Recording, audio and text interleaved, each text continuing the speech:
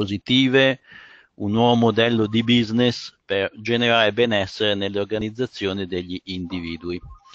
Eh, ricordo che questo è un evento che abbiamo, che abbiamo realizzato nell'ambito del progetto Welfare Café, che è un progetto che si è sviluppato a partire dal 2019 su iniziativa di Unione Industriale Biellese e Confindustria Canavese, con eh, il supporto dei partner tecnici, il filo da tessere e il quinto ampliamento ed è un progetto che è finanziato dalla Regione Piemonte nell'ambito della strategia regionale WeCare attraverso appunto il bando disseminazione e diffusione eh, del welfare aziendale tramite appunto gli enti aggregatori. E questo appuntamento è anche l'evento che conclude il nostro progetto e oggi il tema è quello di approfondire il tema delle organizzazioni positive come appunto un modello capace di generare valore e avere beneficio eh, sia verso l'individuo che, che per l'azienda. Eh, il programma del nostro pomeriggio vedrà eh, l'intervento introduttivo eh, di Giancarlo Mezzano, vicepresidente relazioni industriali e welfare di Unione Industriale Biellese, di Claudio Ferrero, vicepresidente e presidente della piccola industria di Confindustria Canavese, gli interventi, eh, le relazioni soprattutto di eh, Laura Conforti, Barbara Costamagna e Giovanni Trivissoni, che poi presenterò ovviamente adeguatamente prima del loro intervento, un caso aziendale eh, che sarà proposto da Marco Cappellari eh, di Osai Automation System e prima, ecco, subito dopo gli interventi introduttivi, eh, vi faremo anche vedere un breve filmato, un breve video eh, che racconta l'attività che si è svolta nell'ambito eh, del progetto Welfare Café. La conclusione dei lavori sarà poi affidata a Daniele Aibino, eh, responsabile eh, del servizio lavoro e welfare di eh, Confindustria Canavese. Io spero eh, di, aver, diciamo, di avervi dato un'indicazione di come organizziamo il nostro pomeriggio. Chiedo solo a tutti i partecipanti di eh, ammutolire il microfono quando eh, non intervengono, questo per eh, una migliore fruizione del webinar e evitare appunto che magari rumori di fondo disturbino il, il relatore.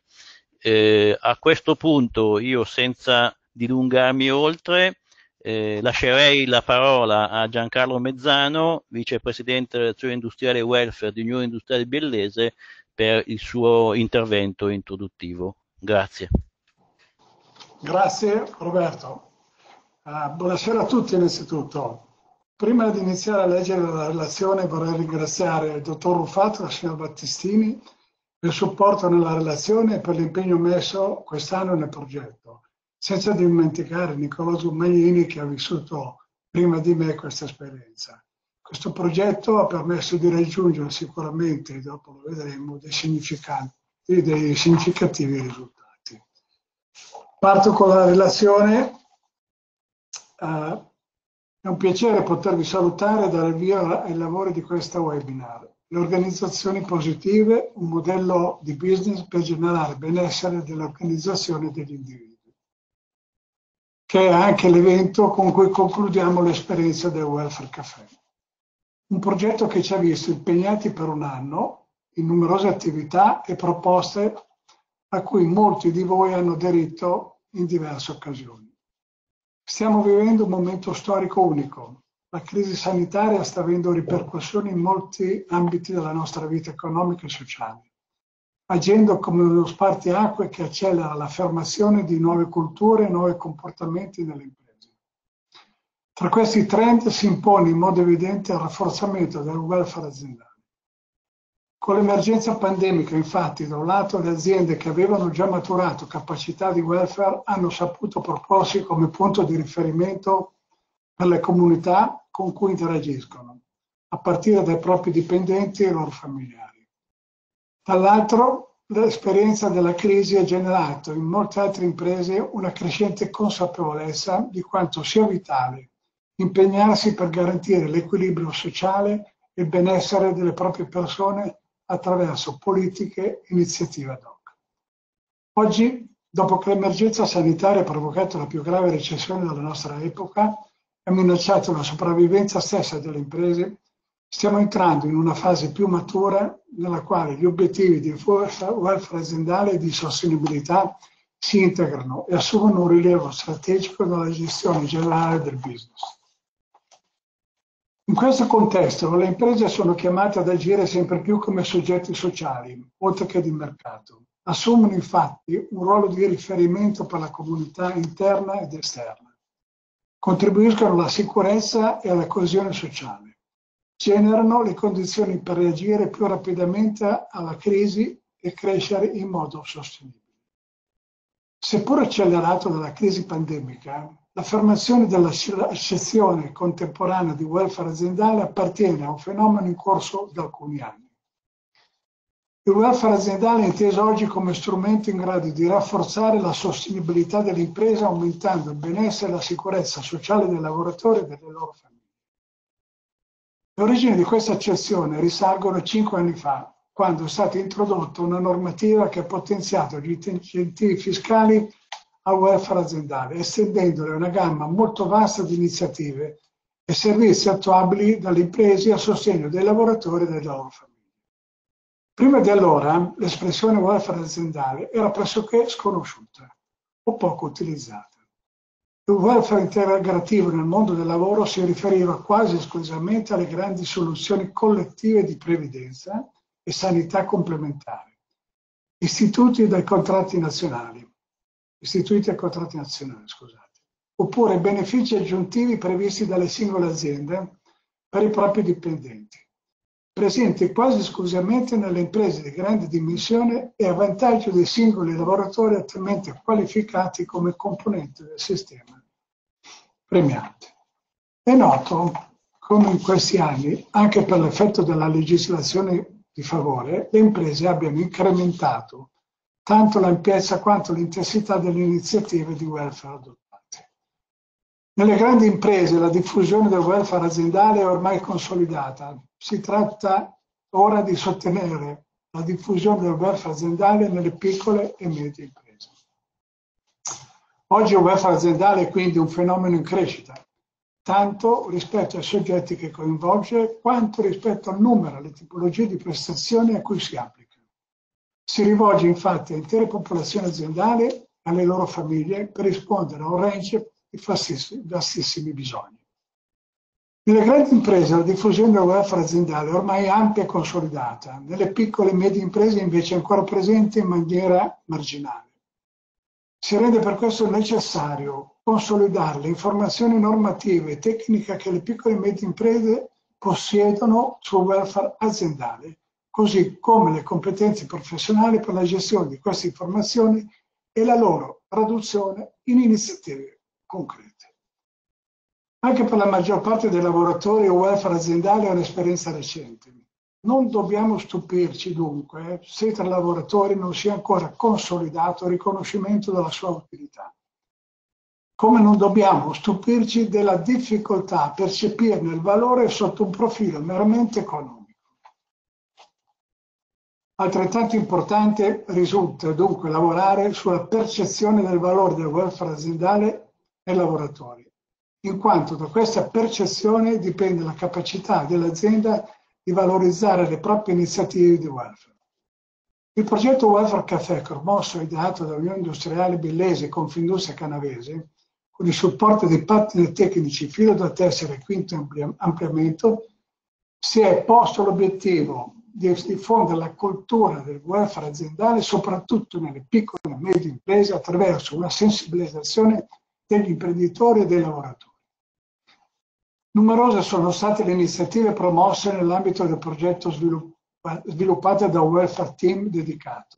Tra queste iniziative riteniamo rientrano sportelli individuali per le imprese volti a fornire le informazioni normative e tecniche per l'introduzione del welfare aziendale oltre a workshop e webinar, per approfondire tematiche specifiche.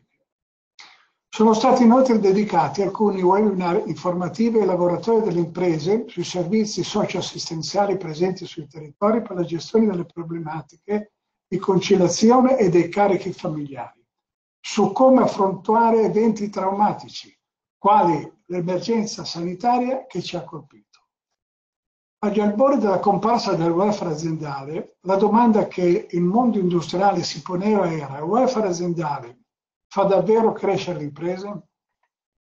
Fino a qualche tempo fa la risposta a questa domanda appariva estremamente incerta, data l'assenza di chiare evidenze circa l'effettivo contributo delle iniziative di welfare al miglioramento qualitativo e quantitativo delle performance aziendali. Oggigiorno, a valle dell'esperienza acquisita e di numerosi studi sul welfare aziendale, possiamo affermare che indubbiamente esiste una relazione positiva tra l'utilizzo degli strumenti di welfare aziendale e la crescita dell'impresa che li ha attivati. Fare welfare è strategico. Per garantire un aumento della produttività dei lavoratori rappresenta un investimento fondamentale per ottenere migliori risultati sia in termini quantitativi che qualitativi e ho aggiunto è anche una possibile attrazione in caso di ricerca di personale qualificato e non.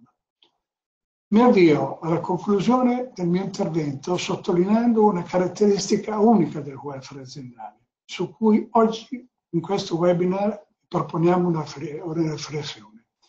Il welfare obbliga le nostre imprese a porsi domande sulle risorse umane, ad ascoltare i bisogni dei dipendenti e chiedersi se esistono dei modi per aumentare la loro motivazione, il loro engagement, il loro benessere, incidendo positivamente anche sul loro rendimento in azienda.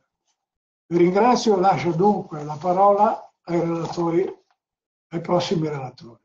Buonasera. Grazie al vicepresidente Giancarlo Mezzano. A questo punto chiederei a Claudio Ferrero, vicepresidente e presidente della piccola industria di Confindustria Canavese, eh, di eh, effettuare il suo intervento introduttivo. Grazie. Buon pomeriggio a tutti, grazie al collega Giancarlo Ormezzano per aver introdotto questa giornata e con piacere che porto oggi i saluti a nome di Confindustria Canavese tutta.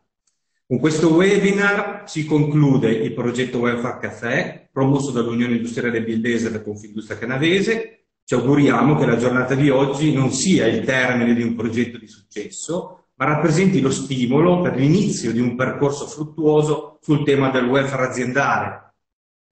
Porgo un ringraziamento alle nostre relatrici docenti, Laura Conforti e Barbara Costamagna, saluto Marco Cappellari di Osai, SPA, un'azienda che siamo orgogliosi di avere in Canavese e che ben volentieri abbiamo oggi invitato per raccontarci la loro esperienza su queste tematiche. Porgo, eh, ringrazio ancora tutti voi naturalmente per questa partecipazione, viva partecipazione che vedo, vedo, vedo abbondante.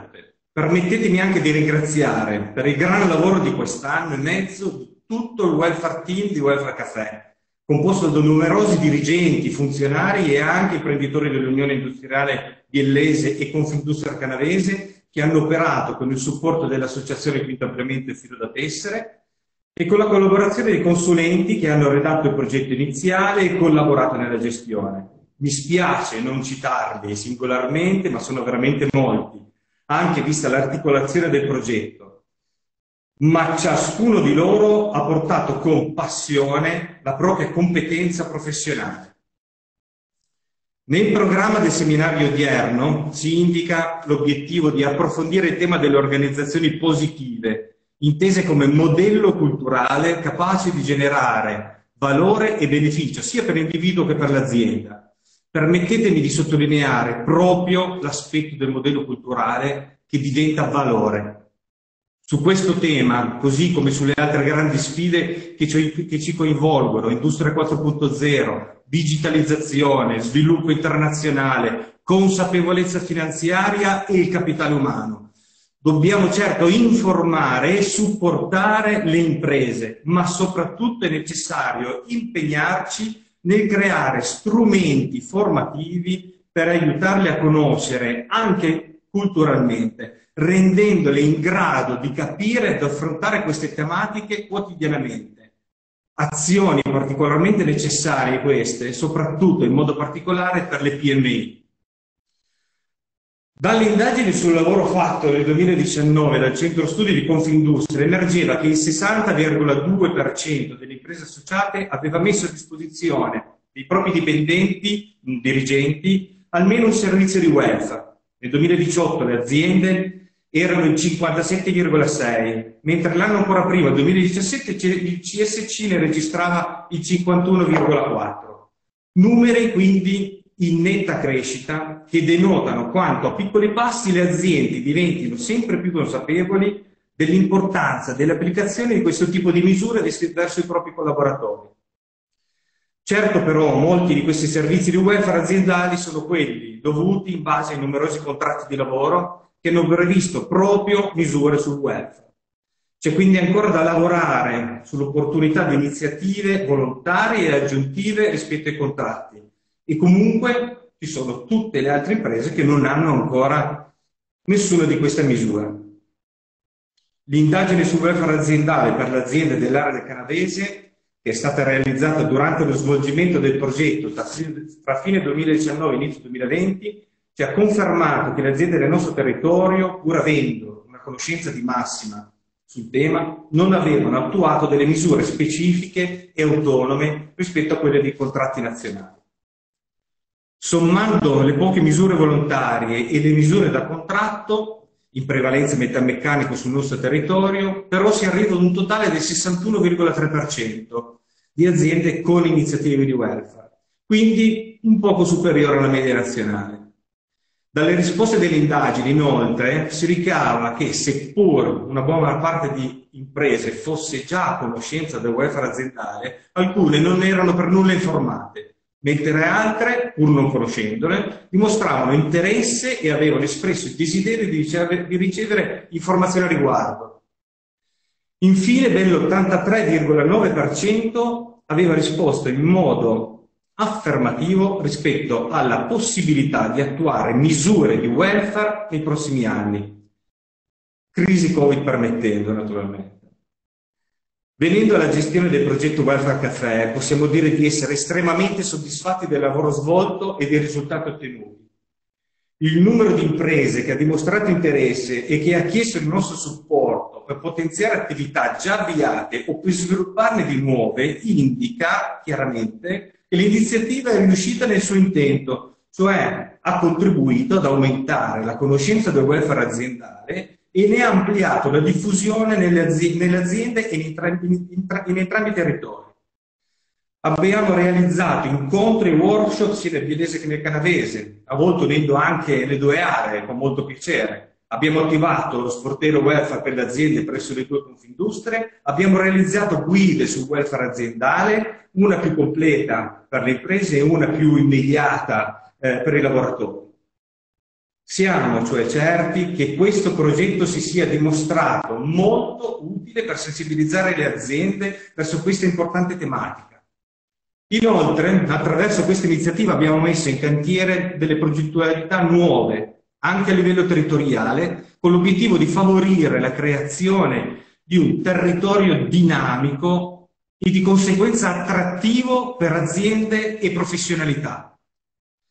Welfare Café è riuscito poi brillantemente a superare le difficoltà di gestione dovute al lockdown all'emergenza Covid, purtroppo non ancora conclusa. Incontri, seminari in presenza sono diventati webinar, ma anche i temi sono stati adattati Così si è parlato di smart working, della gestione dei ragazzi durante l'emergenza, dell'adattamento dei servizi educativi socio-assistenziali, pubblici e privati.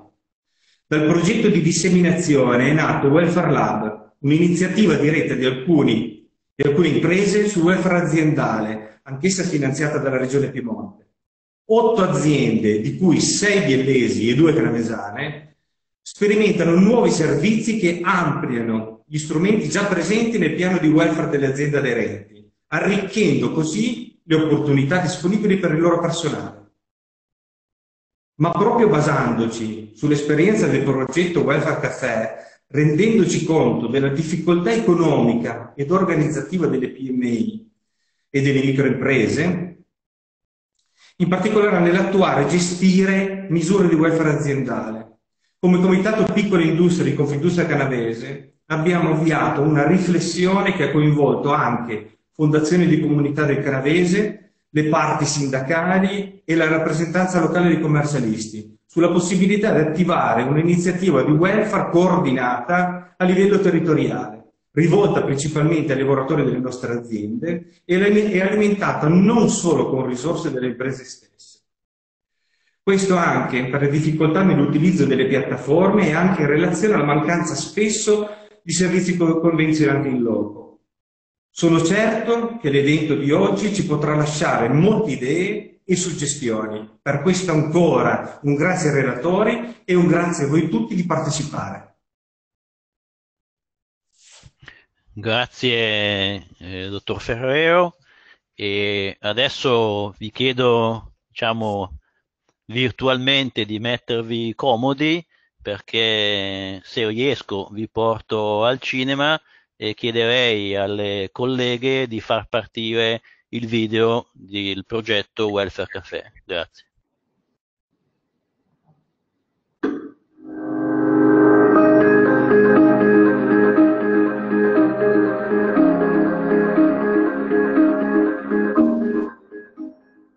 welfare aziendale oggi costituisce una grande opportunità, sia per i lavoratori sia per le aziende, oltre ad essere un importante strumento per la gestione delle risorse umane in maniera attenta e sensibile, il welfare è in grado di generare benessere e crescita economica.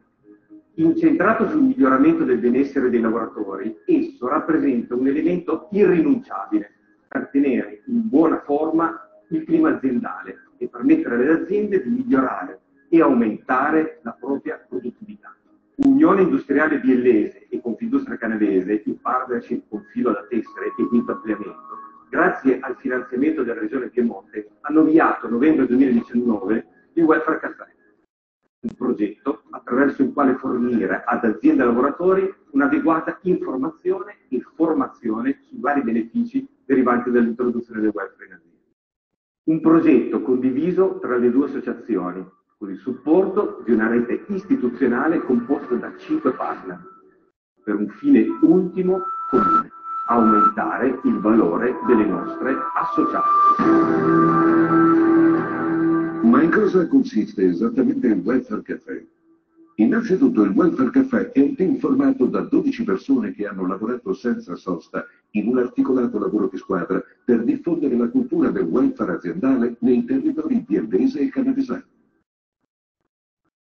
Punto di partenza del progetto è stata un'indagine avviata su entrambi i territori per comprendere quali potevano essere le esigenze delle imprese su tale tema.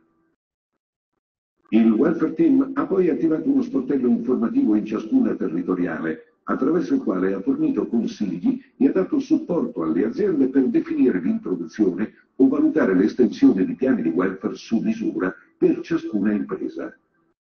Oltre agli sportelli per le imprese, il Welfare Team ha organizzato presso le aziende interessate sportelli informativi rivolti ai lavoratori e ha messo a disposizione sul proprio sito internet uno strumento per calcolare i vantaggi fiscali di attivare un piano di welfare.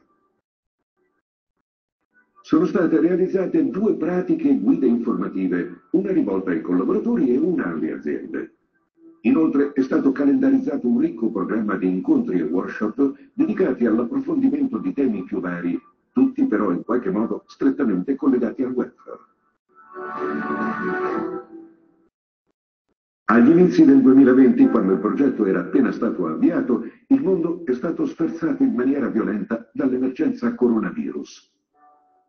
La pandemia ha innescato un vortice di cambiamenti impressionanti in tutti gli ambiti, il welfare team però non si è perso d'animo. Convinto che in situazioni tragiche come quella che si stava vivendo fosse necessario uno sforzo ancora maggiore per garantire servizi e prestazioni dal forte impatto sociale, si è completamente reinventato.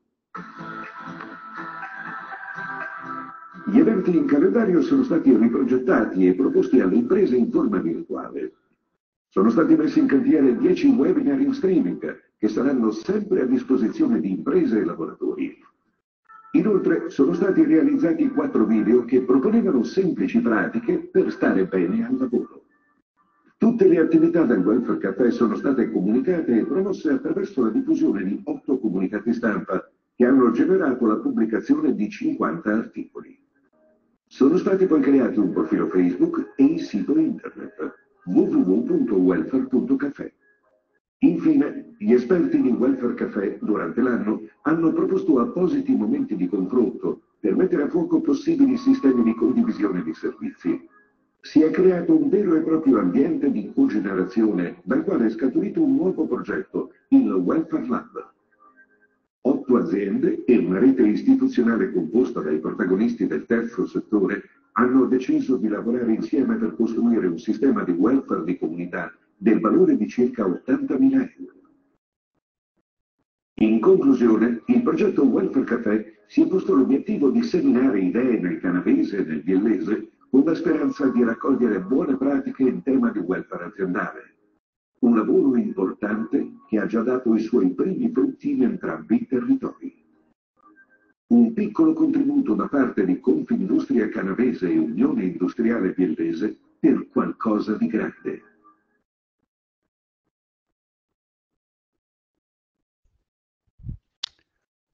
Ecco, grazie del, eh, del video, eh, siamo, che, siamo riusciti a, a farvi vedere, eh, questo mi fa molto piacere.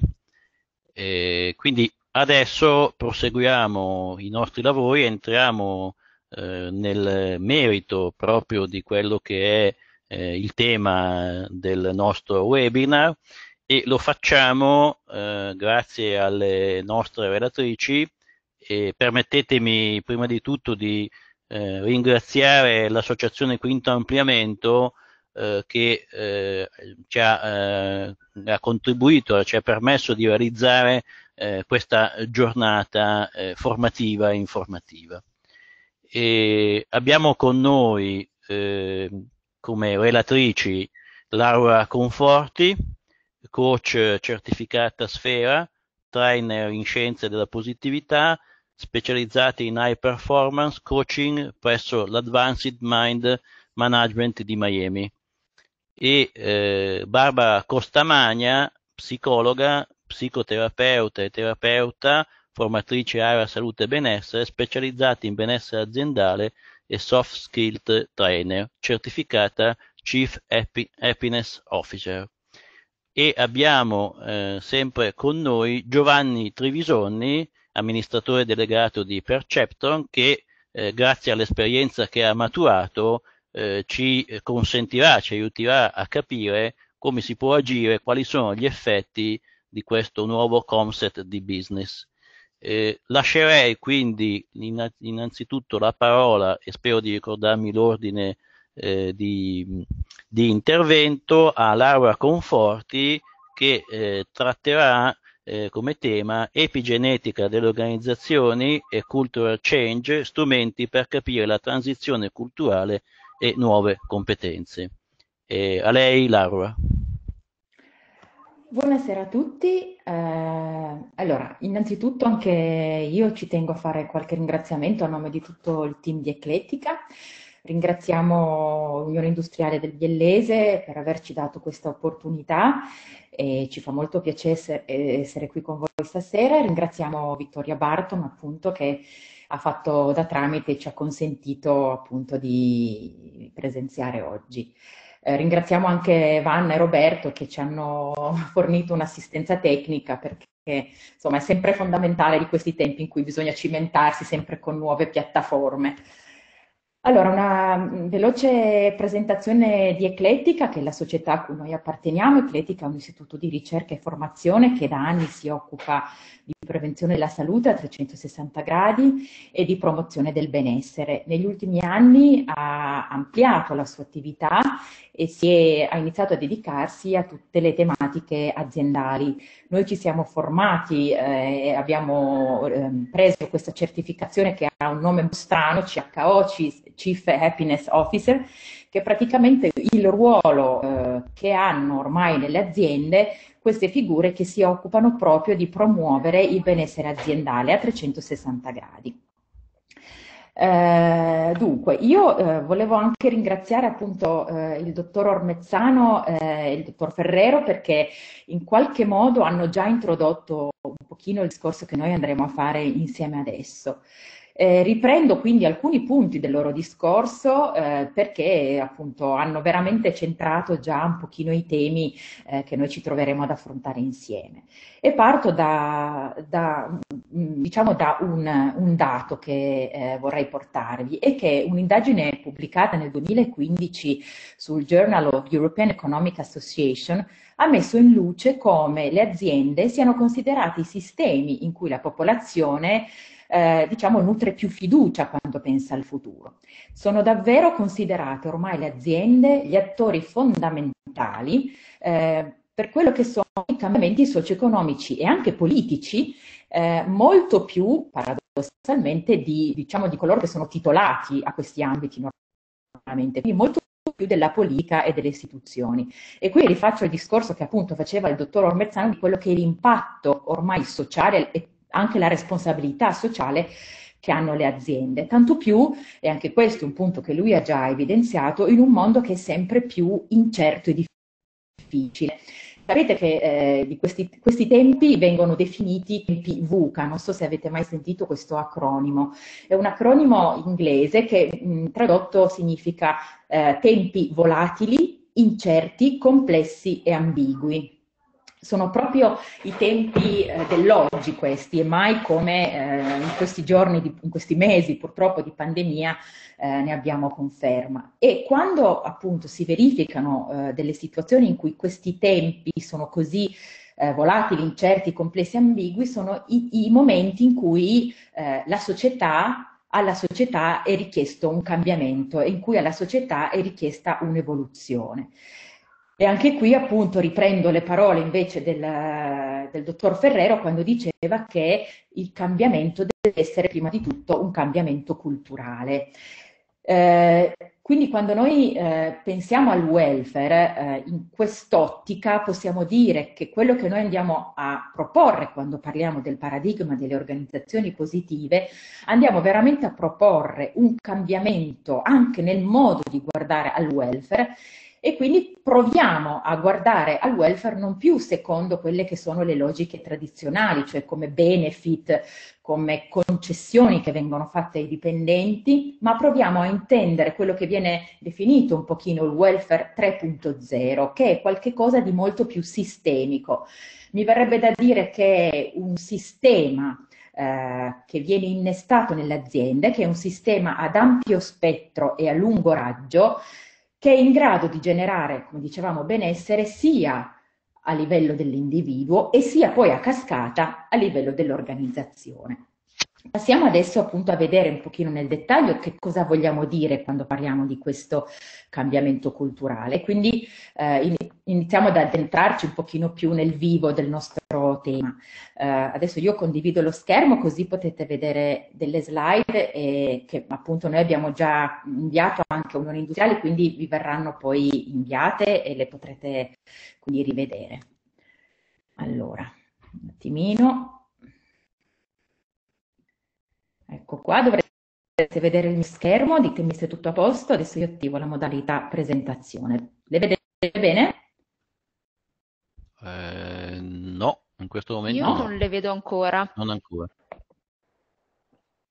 Eppure mi dice che le condivise, quindi non le vedete? No. Allora riprovo, No. abbiate pazienza.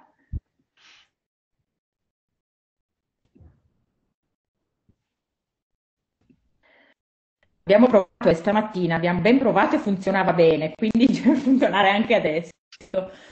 Ma questi Confermo. stamattina Sì, sì, ma sono gli inconvenienti della diretta. C'è adesso? non ancora. No. Eh, accidenti, ma com'è possibile? Eh, allora, se prova ehm, a schiacciare, quindi li- eccola, adesso la Eccola, vediamo. era solo una questione di tempo allora. La, la interrompo solo un secondo per, eh, insomma, aiutare i partecipanti a visualizzare al meglio la presentazione. Eh, se avete la necessità di ingrandire le immagini, eh, potete in basso a sinistra cliccare sulle due frecce che si allargano in modo da eh, visualizzare a schermo intero, scusate, in basso a destra, in modo da visualizzare a schermo intero. Eh, potete inoltre con il mouse posizionarvi sopra l'immagine della presentazione, vedrete che avete i simboli più e meno per eh, zoomare, quindi ingrandire o ridurre le immagini. Vai pure Laura, scusa. Ok, niente, niente, anzi, grazie. Allora, appunto, dicevamo che le organizzazioni positive si pongono come eh, svolta culturale in tempi di grande complessità e di grande incertezza. E il grosso vantaggio eh, di chi eh, tenta di applicare questa svolta culturale è che in effetti si è dimostrato, e questo ormai in maniera eh, molto scientifica e molto consolidata, che eh, chi è in grado di fare questo salto evolutivo, diciamo così, eh, acquisisce una maggiore resilienza, anzi diciamo pure una maggiore antifragilità a tutto questo grande eh, vortice di complessità e di incertezza e cerchiamo di capire perché. Allora, fino adesso eh, noi eh, siamo stati influenzati da una cultura aziendale, ma più in generale di una cultura sociale che eh, appunto prende le mosse da quelle che sono appunto le istanze del materialismo e del determinismo che addirittura risalgono a Newton e a Darwin che hanno generato da un punto di vista proprio di cultura, ma ripeto, questo lo possiamo dire relativamente alle aziende, ma più in generale anche proprio ad altri ambiti della società, hanno determinato un'ottica di eh, grande produttività, cioè tutto era veramente orientato a cercare di essere il più possibile delle macchine produttive e questo se volete risale anche poi al modello della rivoluzione industriale. Quindi l'ottica a cui noi siamo stati, stati abituati fino adesso è quello di aziende come macchine produttive. Questo però eh, diciamo, è basato poi su tutta una serie di eh, concettualizzazioni e di comportamenti che eh, noi abbiamo trovato poi nei nostri sistemi, abbiamo, siamo abituati a vivere nei nostri sistemi organizzativi e qua ve ne ho messi alcuni, solo alcuni, no? Il fatto che la pressione è quello che funge da stimolo, il fatto che per poter generare efficienza è necessario avere controllo e organizzazione gerarchica, il fatto che le grandi decisioni spettino ai ai manager, ai leader e il fatto che le informazioni strategiche siano appannaggio eh, di poche persone. Tutto questo però ha degli effetti che noi abbiamo dimostrato. Questi dati sono stati presi dal rapporto Gallup, che è una delle agenzie che in maniera più approfondita studiano gli effetti delle culture, dei sistemi aziendali su appunto proprio quelli che sono i KPI che noi siamo abituati ad analizzare eh, appunto normalmente. E gli effetti sono che l'85% dei dipendenti di tutto il mondo si definisce stressato ed emotivato e che appunto tutta questa demotivazione è quello che genera poi la sensazione di stress che noi sentiamo eh, quando ci troviamo eh, negli ambienti lavorativi, nella maggior parte dei casi chiaramente. E tutto questo poi ha degli effetti proprio anche da un punto di vista concreto. Pensate appunto al grande numero di incidenti sul lavoro, ma pensate appunto anche a, agli effetti che ha sulla produttività. Vedete, eh, io ho riportato questi dati c'è un calo del 18% di produttività, c'è un calo del 16% in termini di redditività che poi a cascata chiaramente influenzano il fatturato e aumentano in maniera importante eh, i tassi di assenteismo. E quindi possiamo dire che ormai abbiamo le dimostrazioni concrete che il modello, chiamiamolo tradizionale, che non vuol dire negativo, ma poi questo lo vedremo più avanti, ma il modello a cui noi siamo stati abituati fino adesso è un modello che per il mondo che noi ci troviamo a vivere oggi non funziona più. Cosa è successo poi in realtà nei tempi moderni? Allora, circa un secolo fa c'è stata una rivoluzione che ha interessato la fisica, che è, è, qualcuno di voi che magari è più esperto, è quella che riguarda proprio tutto il mondo della fisica eh, quantistica, no? che ha portato una nuova ottica nel mondo scientifico e che ci ha fatto traghettare da quella che era no? uh, l'idea di determinismo, di materialismo e di sicurezza della scienza ad un'ottica di indeterminismo. Quest'ottica, se pensate, è veramente quella che è più coerente con i tempi che noi viviamo e quindi, in un certo modo, anche noi, sia come individui, sia come sistemi, dobbiamo adattarci a questa nuova concezione, che è nuova, tra l'altro, fino a un certo punto, perché, come dicevo, è qualcosa che è andato già sviluppandosi a partire dal secolo scorso. Quindi noi dobbiamo provare a traghettare anche la nostra ottica da aziende come macchine produttive ad aziende come, intese come dei veri e propri sistemi viventi.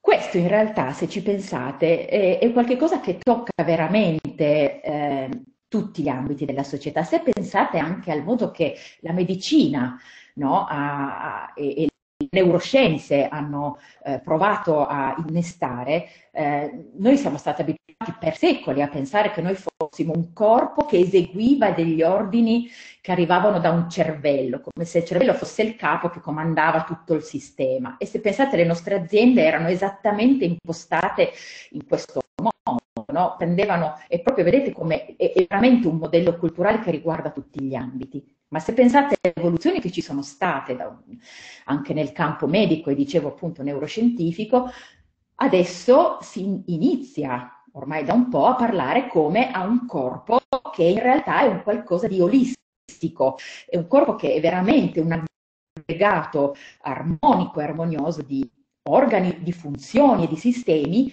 che comunicano tra loro e che ovviamente, siccome comunicano tra loro, si influenzano a vicenda.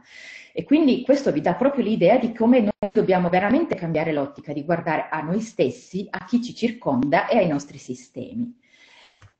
Se noi ritorniamo a parlare di aziende come esseri viventi, vediamo che nelle aziende mh, come esseri viventi abbiamo visto appunto quali erano i paradigmi delle aziende intese come macchine produttive, invece in queste che sono considerate esseri viventi, l'efficienza è tendenzialmente sempre legata a una coerenza. E la coerenza deriva dalla condivisione di obiettivi e soprattutto, e questo ci tengo a sottolinearlo, di valori. Il ragionamento sugli obiettivi e sui valori è qualcosa di fondamentale nell'organizzazione positiva.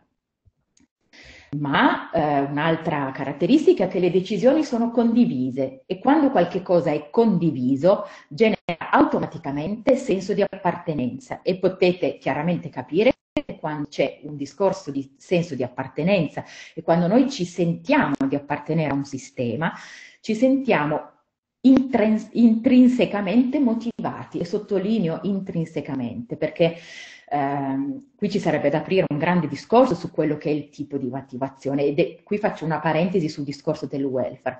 Il welfare inteso come vecchio, e lo metto tra virgolette, ehm, è un welfare lavora sulla motivazione estrinseca, cioè lavora nostra, sul nostro bisogno di avere un premio, una ricompensa pensa. Ma questo è stato provato a una durata a breve termine, nel senso che raggiunge un picco nel momento in cui noi lo riceviamo e poi in un certo senso ci crea assuefazione e poi appunto eh, ci fa venire voglia di avere di nuovo un altro premio e un altro stimolo. La motivazione intrinseca è invece qualcosa che dura uh, veramente a lungo termine ed è qualcosa che ci appartiene dal di dentro e quindi è decisamente più efficace. Ed è per questo che questo sistema delle organizzazioni positive può essere veramente visto come un welfare 3.0. E questo ha degli effetti veramente strabilianti. Questo sono sempre dati che provengono dal rapporto Gallup, ma anche da altre fonti autorevoli. Eh, guardate, ad esempio, eh, c'è una, un, un, aumento eh, incredibile nella capacità di innovazione delle aziende. Parlando del discorso delle motivazioni, vedete come c'è un aumento addirittura del 44% dell'attaccamento all'azienda. E questo chiaramente poi agisce in maniera positiva su quelli che sono, ripeto, i KPI tradizionali, quindi la produttività, l'aumento delle vendite, la diminuzione dell'assenteismo che invece prima avevamo visto era decisamente importante. E quindi chiaramente poi anche a livello individuale gli eh, individui stanno meglio e quindi cosa succede? Vivono eh, meno stress e quindi il burnout diminuisce e hanno meno voglia di abbandonare le aziende perché se stanno bene hanno voglia di rimanere lì, quindi automaticamente, e questo mi sembra veramente ovvio, diminuisce il turnover. Ma adesso cerchiamo di capire un pochino di più che cosa si intende per organizzazioni positive. In pratica, come dicevamo, è veramente un discorso di tipo culturale, quindi si tratta di fare un lavoro culturale su tutto il sistema organizzativo e quindi si tratta di innestare nuove strategie, nuove pratiche e nuovi processi che sono in grado di generare appunto un maggiore coinvolgimento, un'innovazione maggiore e che veramente consente di gestire quel mondo volatile, incerto, complesso e ambiguo che è quello che poi eh, ci fa andare in crisi. E quindi, per ritornare al discorso di prima, è che neanche un punto appunto che eh, appunto il dottor Ferrero diceva prima, sono aziende che cercano di conciliare il benessere individuale con i profitti e con la crescita del business. Questo è davvero il welfare del futuro. Però volevo ritornare un attimino su un punto che dicevamo prima, noi parliamo di organizzazioni positive, ma questo non significa che quelle che noi abbiamo vissuto fino adesso siano organizzazioni negative, non è un discorso di giudizio, ma è veramente un discorso di capire eh, la necessità di una trasformazione. E la trasformazione spesso significa tenere tutto quello che di buono c'era nel vecchio modello, andando a innestare tutto quello che di nuovo, nuovi, il cambiamento e le nuove istanze sociali, socio-economiche e scientifiche ci suggeriscono. Questo l'hanno già fatto tantissime realtà che hanno avuto veramente hanno fatto veramente il botto. Io qua ne ho messe alcune di straniere, vedete Netflix, Virgin, ma vedete anche alcune italiane. Noi molte di queste italiane le abbiamo conosciute dal vivo, alcune le abbiamo anche seguite. Mm, Gianni fa parte di una di queste che non è inserita nella slide, ma poi ci racconterà un pochino più da vicino la sua esperienza. E questo per dirvi come veramente è qualcosa di possibile. Quindi si tratta proprio di lavorare in un'ottica di miglioramento, ma vediamo da che cosa possiamo iniziare ad agire per innestare e innescare questa trasformazione. Qui sono proprio i punti su cui quando noi andiamo nelle aziende per eh, accompagnare le aziende in questo eh, percorso di trasformazione sono i punti da cui cominciamo. E quindi si lavora innanzitutto sulla gestione degli spazi, perché gli spazi sono qualcosa che coinvolge il lavoratore nella giornata quotidiana e quindi il fatto di avere degli spazi in cui i lavoratori stanno bene è molto importante. Poi si agisce sui modelli organizzativi, quindi sugli organigramma per esempio, su tutto si fa un enorme lavoro eh, sui, sul, sul, di brand management, cioè di capire il ruolo, come viene sentito ai lavoratori e come viene costruito insieme il ruolo, de, il ruolo dei lavoratori all'interno dell'azienda. Si, agende, si agisce sui processi decisionali, quindi sui flussi che portano a prendere le decisioni e quindi anche su tutto quello che è la comunicazione, su come vengono comunicate le decisioni, su come vengono condivise e quindi proprio sul flusso delle informazioni. Dicevo prima, si agisce sui valori, perché nessun lavoro può essere fatto e può essere motivante se non c'è una condivisione di regole, obiettivi e valori si agisce anche necessariamente su una conciliazione di tempi e orari di lavoro. E tutto questo poi porta a lavorare su quelle che sono appunto le performance, quindi si lavora sulla gestione dei, delle performance, si fanno proprio, come dire, dei lavori di coaching molto mirati per aiutare i lavoratori a gestire meglio le loro performance e a gestire le loro performance insieme al gruppo. E quindi chiaramente poi si fa anche un lavoro sul gruppo, sulle relazioni interpersonali. È un lavoro estremamente complesso, però diciamo che non bisogna spaventarsi, nel senso che veramente le organizzazioni positive possono essere viste come un cambiamento culturale possibile. Ma va detta anche una cosa, che la trasformazione in organizzazione positiva è veramente una porta che noi diciamo si apre solo da dentro.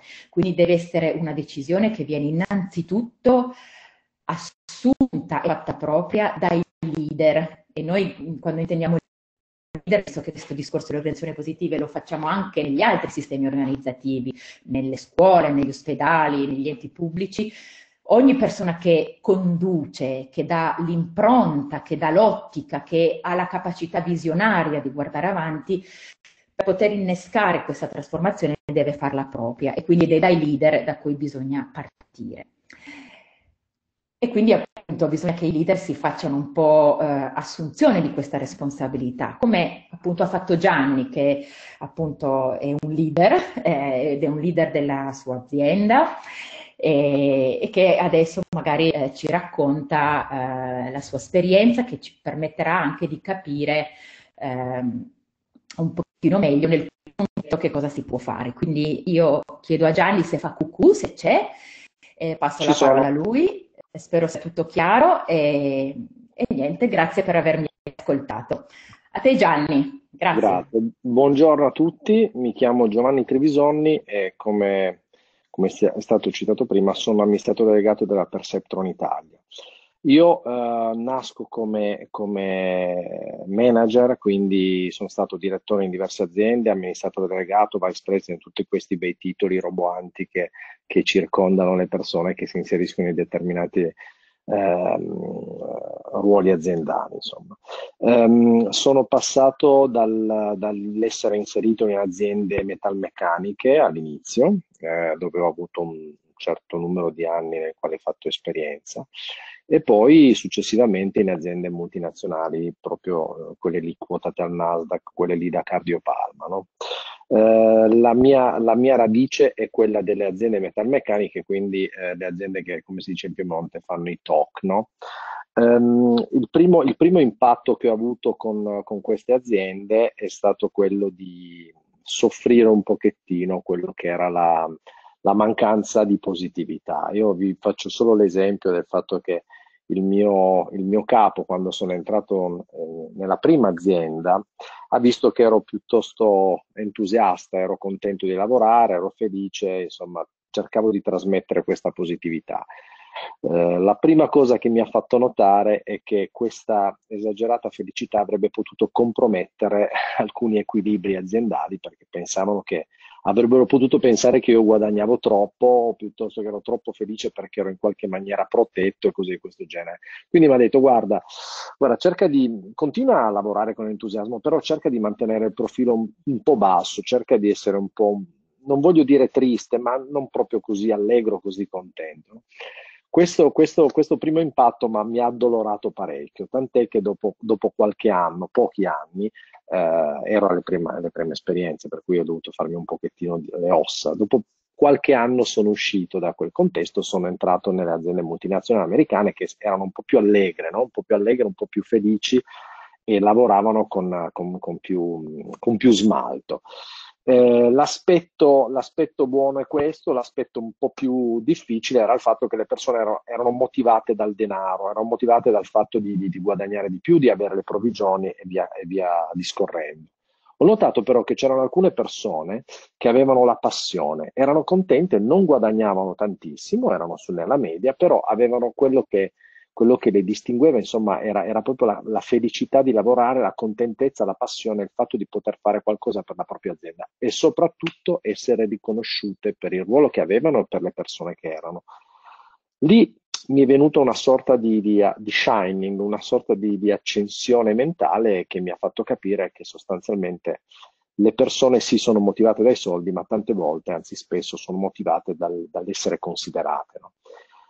Da lì in avanti, da, dalla prima azienda che, che, ho cambiato in avanti, ho avuto la fortuna e, la, e la, l'opportunità di diventare responsabile, quindi manager, poi eh, seguendo la, la, strada, direttore, eccetera, eccetera. quello, quello, che ho cercato di applicare e quello ho trovato, di cui ho trovato riscontro è proprio il fatto di ascoltare le persone, cercare di renderle partecipi eh, di quello che accadeva in azienda, ritagliare loro il ruolo che più era adeguato alla, alle loro aspirazioni, cosa assolutamente non facile perché come, come sapete tutti quello che contano sono i numeri. Noi sappiamo benissimo che nelle nostre aziende quello che conta è fare il margine, quello che conta è fare il risultato, il fatturato, e queste sono le cose che reggono l'azienda, perché, perché a meno che uno non sia contraddistinto con l'essere una onlus, tutte le altre devono fare i numeri. E ahimè, eh, fare i numeri era qualcosa che devo fare anch'io. Però per fare i numeri non è necessario sempre, anzi non è necessario mai eh, imporre eh, le cose o cercare di controllare o esagerare col controllo. Tante volte il controllo può venire meno o, o, comunque si può abbassare nella misura in cui le persone sentono questa passione, sentono la voglia di lavorare, la voglia di mettersi in discussione e anche la voglia di aiutare il, l'azienda.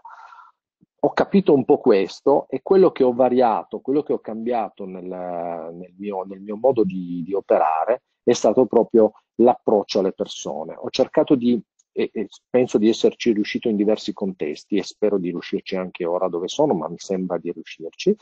Um, quello che ho cercato di fare è di ritagliare intorno alla persona una zona di felicità, una zona di motivazione che in realtà non vuol dire altro che consentire alle persone di fare quello che sono capaci e quello che hanno voglia di fare, perché noi sappiamo benissimo che il problema che noi tutti abbiamo e che ci sono delle persone che hanno molta esperienza che però tirano i remi in barca, quindi si fa una fatica enorme a tirare fuori informazioni e si fa una fatica enorme a farle lavorare con entusiasmo.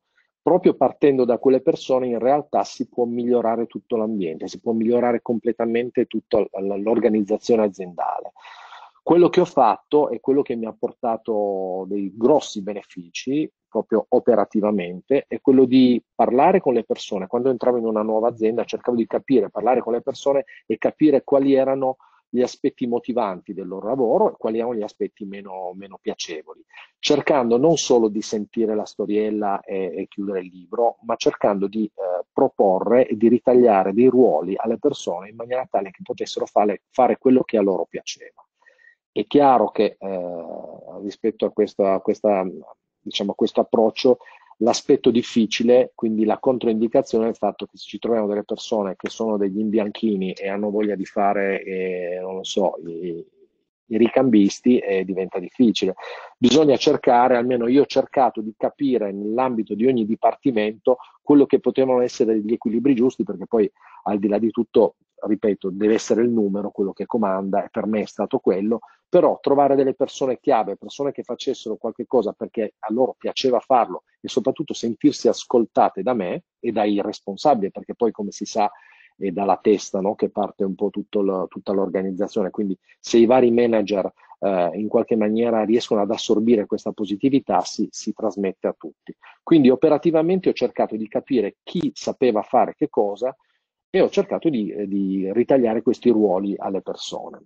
Questo sul lato azienda. Sul lato recruitment, quello che ho cercato di fare è di far venire come secondo, come secondo punto, le competenze. Prima la motivazione, la persona, la capacità e l'essere smart, l'essere un po', uh, un po creativi, un po', un po oltre, oltre, le righe. Quindi ho guardato più che altro l'aspetto persona e performance personali e emozionali dopo veniva la competenza.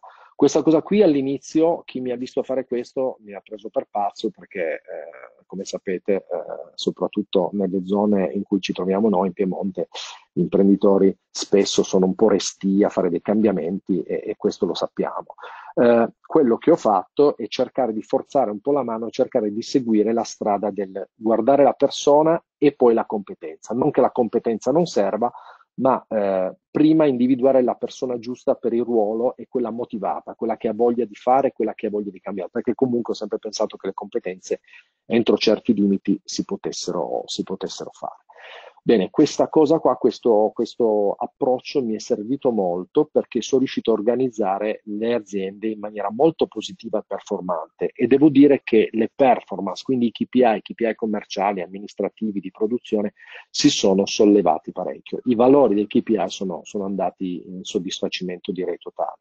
Quindi questa è un po' la mia esperienza, l'esperienza che mi ha portato tra l'altro tre anni fa a prendere il certificato internazionale di coach, di business coach, tant'è vero che oltre a fare il mestiere che faccio, faccio anche il business coach nelle aziende per aiutarle a, a raggiungere i propri risultati. Quindi tutto questo è il bagaglio che mi sono portato dietro, che continuo a portarmi dietro e che in qualche maniera mi fa avere del successo e penso di, penso di aver preso insomma la strada giusta. Ecco. Questo è per chiudere un po' la mia, la mia esperienza. Se avete domande io sono qua, se no passerei la parola direttamente a Barbara Costamagna che è nel secondo intervento. Barbara, se ci sei, passerei a te.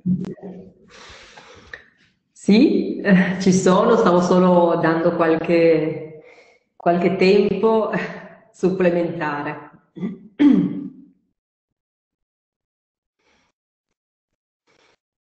Bene, io No, dicevo, se avete domande fatemele pure perché ehm, essendo io stato, sta, essendo nelle aziende, mi rendo conto di quello che sono i problemi interni e quindi se volete sapere qualcosina di più io sono qua rispetto alle esperienze che ho avuto. Ecco.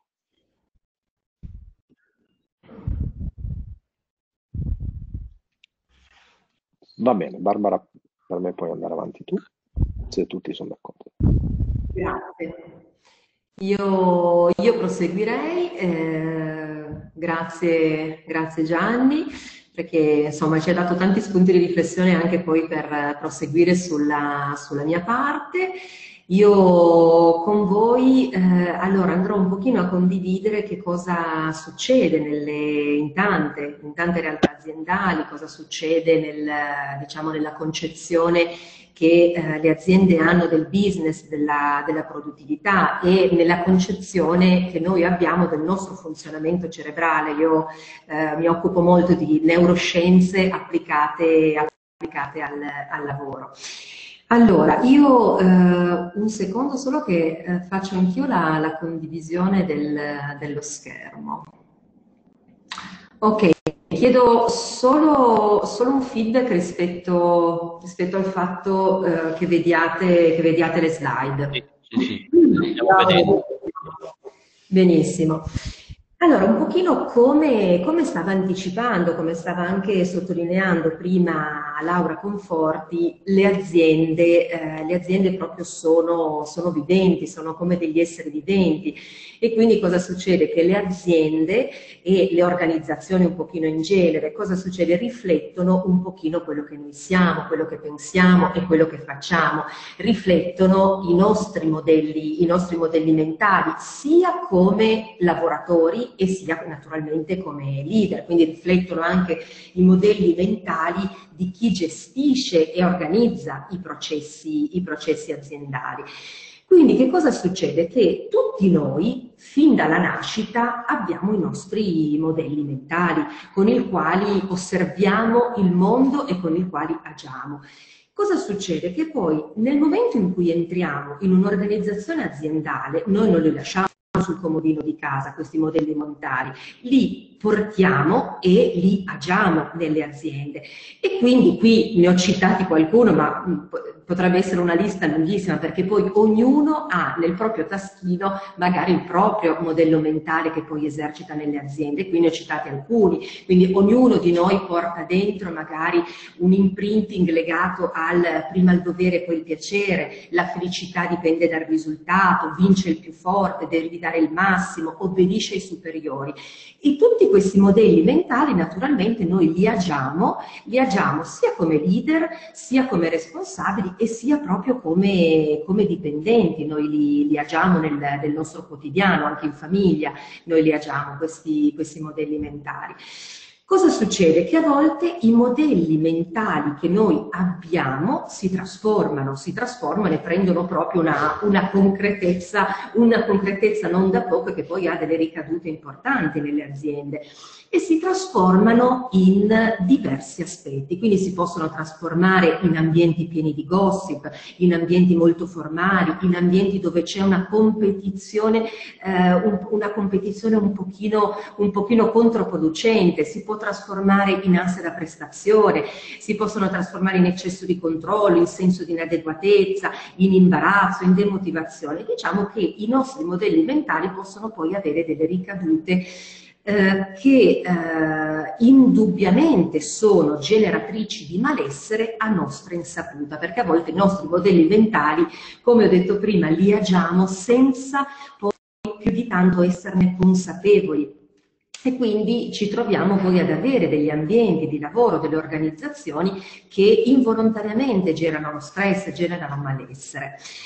Quindi la prima cosa che secondo me dobbiamo, secondo noi dobbiamo un attimino fermarci e sulla quale riflettere approfonditamente è quale modello mentale sta guidando la nostra azienda, sta guidando il nostro reparto, sta guidando il mio team, quale modello mentale quale poi modello mentale sta guidando le performance dei miei dipendenti, perché è logico che eh, alcuni modelli mentali poi guidano le, le, performance in alcune modalità piuttosto che in altre.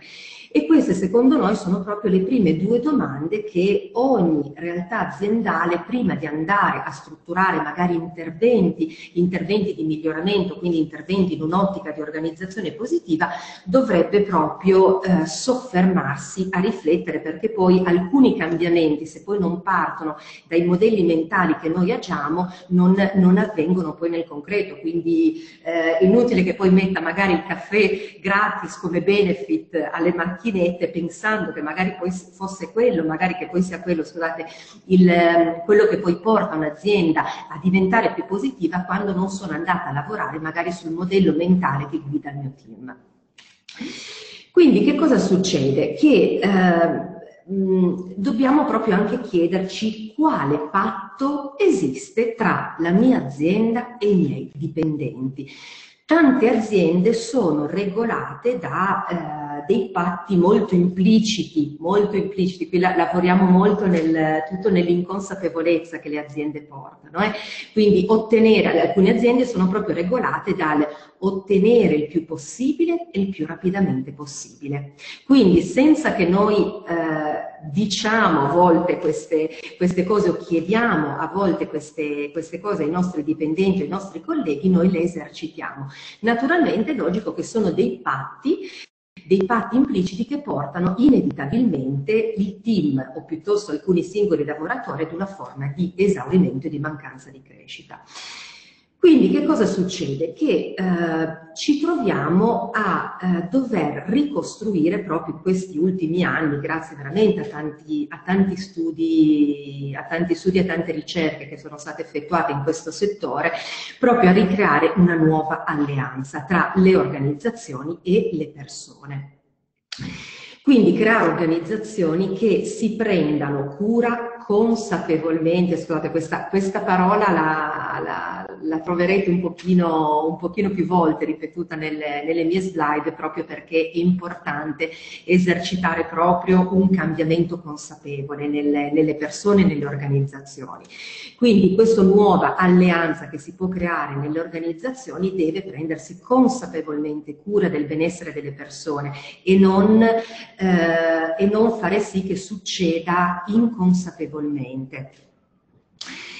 E ehm, diciamo che arriviamo un pochino a riflettere su questo importante legame tra business e benessere. Sono due dimensioni che a livello aziendale sono sempre più correlate tra di loro. Sempre più correlato è anche il legame che si crea tra le performance che tutti a livello aziendale, a livello lavorativo dobbiamo continuare ad inseguire e a perseguire e il legame tra le nostre performance e l'energia fisica e l'energia mentale che supporta poi le nostre performance, la motivazione anche. E quindi ehm, arriviamo proprio un pochino anche a chiederci da cosa dipendono le nostre performance e la nostra produttività. Qui ci viene grandemente, scusate, ci, qui ci viene in aiuto eh, Sean Acor, che è questo grande docente e ricercatore di Harvard, che lui per anni ha studiato veramente presso importanti aziende, eh, e anche presso l'università, ehm, diciamo, ha studiato per tanto tempo la formula del successo e la formula proprio del potenziale umano e eh, lui a seguito di tutti i risultati delle, delle, ricerche ha proprio suggerito di invertire la formula classica che noi da sempre abbiamo utilizzato per motivare le persone e per avere successo dalle persone. E noi quale formula abbiamo sempre utilizzato? Quella del successo che porta la felicità. Quindi più hai successo, più lavori duramente, più lavori e ti impegni, più avrai felicità. E quindi cosa succede? Che lui, eh, Acor, spiega proprio che questa formula che noi da sempre abbiamo utilizzato è completamente errata perché eh, il cervello proprio lavora, lavora completamente al contrario, quindi solo quando riusciamo ad aumentare la positività e il benessere di una persona, solo allora il cervello è in grado di produrre dopamina e eh, questi aspetti li vedremo anche un pochino dopo che fanno parte delle neuroscienze, il cervello è in grado di produrre dopamina e funzionare al meglio, funzionare al meglio e quindi raggiungere indubbiamente il, il successo le performance che noi stiamo che noi stiamo ricercando. E altre ricerche eh, hanno permesso proprio di andare direttamente dai lavoratori a chiedere, dalle, dalle persone, a chiedere che cosa ti rende felice sul posto di lavoro.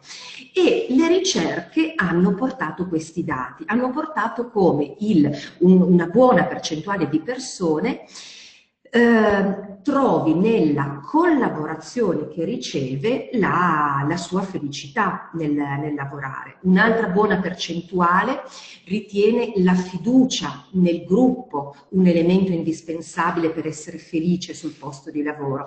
Altre persone l'apprezzamento. Quindi che cosa succede? Che queste ricerche hanno proprio portato a vedere quanto l'essere umano sia lavorativo che non, quindi l'essere umano in genere, ma in modo particolare l'essere umano lavorativo, viste le ore anche che noi tutti noi passiamo, passiamo sul posto di lavoro, quanto l'essere umano sia proprio cablato per la socialità e la fiducia.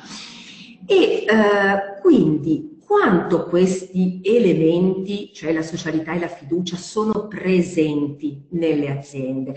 Quindi ci troviamo sempre di più a capire che le aziende, perché funzionino bene, perché funzionino, perché portino a successo, performance e business, hanno bisogno proprio di costruire fin dall'inizio relazioni di fiducia e reciprocità, perché poi sono proprio quelli, quegli elementi che portano le persone al benessere, alla felicità, alla positività e quindi conseguentemente al, al successo.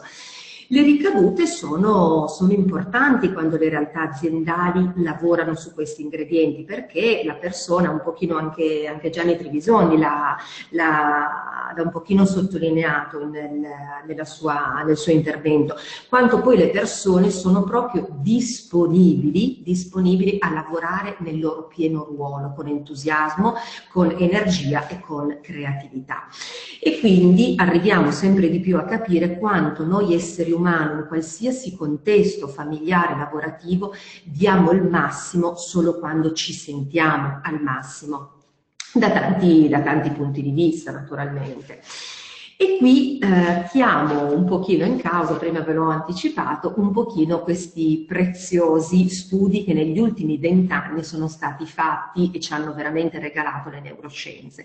Degli studi per, eh, proprio per capire come funziona il nostro cervello e eh, per capire proprio come rendere il nostro cervello un alleato piuttosto che un nemico, perché in alcuni, momenti, in alcuni contesti, in alcune situazioni il cervello eh, se non gestito al massimo, non diventa un nostro alleato, proprio anche nella, nella vita quotidiana, non solo, non solo in quella lavorativa. E le neuroscienze che cosa hanno scoperto? Allora, hanno scoperto che noi siamo da tantissimi anni programmati per reagire a qualsiasi cosa accada nel nostro ambiente in due modalità specifiche. Una modalità chiamata reactive, dove eh, il cervello inizia, il, cervello, quindi tutto il corpo, inizia a produrre determinati ormoni e l'altra modalità chiamata ehm, responsive dove il cervello, il cervello e tutto il corpo produce altri tipi di neurotrasmettitori e altri, e altri ormoni. Quali sono queste due modalità? Allora, la prima è la modalità reactive. Allora, la modalità reactive è, eh, tra l'altro, dentro di noi programmata da, da tantissimi anni, come, come, vi ho detto, perché ha proprio avuto per millenni la funzione di proteggerci, di proteggerci dai, dai pericoli. Quindi cosa succede? Che si attiva quando il cervello, una volta quando percepiva dei, dei, dei pericoli concreti, quindi dei, delle minacce ambientali importanti, adesso che le, i leoni e le, i predatori non, non, ci sono più, ma i predatori sono di altra natura, cosa succede? Che la modalità reactive, che è quella che produce cortisolo e adrenalina, si attiva quando il cervello percepisce delle situazioni spiacevoli, stressanti, paurose, quindi eh, situazioni situazioni di vita, anche, ecco, anche solo per citarvi, un ambiente di lavoro pieno di gossip e di pettegolezzi, il cervello entra in modalità reactive, come se davanti a sé avesse un nemico e avesse una minaccia, una minaccia importante dalla quale difendersi. E quindi eh, cosa succede? Che il cervello inizia ad entrare nella modalità reactive, quindi quando percepisce un, un pericolo, una tensione, inizia ad entrare in chimica negativa. Quindi ehm, continua a produrre costantemente cortisolo e adrenalina. Cortisolo lo conosciamo un pochino tutti, è chiamato proprio l'ormone dello stress. Quindi il cervello inizia a produrre, a produrre proprio quei neurotrasmettitori utili proprio per la sopravvivenza. Ma che cosa succede poi concretamente, no? concretamente nel, nel nostro agire, nella nostra vita lavorativa? Che sotto cortisolo e sotto adrenalina capita una situazione particolare, che le funzioni cerebrali diventano quelle meno evolute. Il cervello non riesce ad accedere alle funzioni cerebrali più evolute, accede a quelle sotto soglia, quindi abbassa, abbassa molto le potenzialità che potrebbe avere, perché le zone più evolute si, si spengono in automatico perché il cervello deve reagire ad un, ad un pericolo. E quindi che cosa succede? Che nella modalità reactive, oltre ad abbassare enormemente le nostre performance e le nostre potenzialità, si va a creare una sorta di malessere generale che è poi quella forma veramente di, di stress da lavoro correlato dove noi veramente ehm, iniziamo poi ad accusare, ad accusare anche poi dei sintomi, dei sintomi fisici, dei sintomi fisici possono arrivare le, delle, forme, delle forme veramente anche di assenteismo dal lavoro dovuto a cefaleri, cranio, tachicardia, chi, chi, più, chi più ne ha ne metta. L'altra eh, modalità di reazione all'ambiente è la modalità responsive. La modalità responsive, chiamata anche chimica positiva, è quella che entra in gioco quando il cervello individua delle situazioni di, di pace, di tranquillità, di benessere, individua delle, delle situazioni dove può eh, sentire, eh, sentire, una forma di benessere, quindi le, delle situazioni piacevoli, quindi per citare degli esempi possono essere delle, delle realtà aziendali dove io sento un riconoscimento, dove sento un senso di appartenenza, dove sento la soddisfazione lavorativa, dove sento la motivazione, proprio come diceva, come diceva il collega Gianni Trevisoni, no? cioè quanto la motivazione nel lavorare, la passione proprio nel lavorare metta in moto proprio tutta una chimica positiva che poi eh, fa a livello proprio cerebrale aumentare le funzioni cerebrali al massimo perché va proprio ad attivare, ad, a, ad attivare proprio le, le, le, aree, le, aree, cerebrali deputate proprio alle, alle, alte, alle alte performance. Quindi noi in questa modalità, quindi modalità chimica positiva, abbiamo la possibilità proprio di lavorare al di sopra delle nostre possibilità, abbiamo la possibilità di aumentare la nostra resilienza, la nostra anti, antifragilità, come, come la chiamiamo spesso. E eh, la chimica positiva è, eh, naturalmente eh, si produce quando il cervello eh, mette in moto alcuni neurotrasmettitori specifici che eh, per, insomma, per, ehm, per, condivisione sono proprio l'ossitocina, la dopamina, la serotonina, le endorfine. Ve li cito proprio perché eh, immagino che in questi anni eh, tanti di voi li abbiano, li abbiano incontrati anche, mh, mm, anche magari in ambito, in ambito, sportivo, quando si dice che magari fare, fare sport oppure fare delle camminate nella natura attivano, attivano delle endorfine, quindi attivano proprio la chimica positiva che ci permette proprio di, di alzare i livelli di, di performance. E quindi che cosa succede in ambienti di lavoro dove io eh, attivo, attivo, proprio le, le, le, i neurotrasmettitori di chimica positiva? Succedono tante belle cose, quindi sono ambienti di lavoro che ehm, eh, puntano in maniera molto molto semplice al raggiungimento degli obiettivi, alla risoluzione dei problemi, aumenta come dicevo prima la resilienza, sono ambienti di lavoro dove la creatività è libera e la creatività è libera perché la chimica negativa la, la, la batte la creatività e invece proprio il, il, cervello sotto chimica positiva è un, veramente un pullulare di idee, di, un, un, concentrato proprio di, di idee e di, di, creatività e quindi anche di, di successo.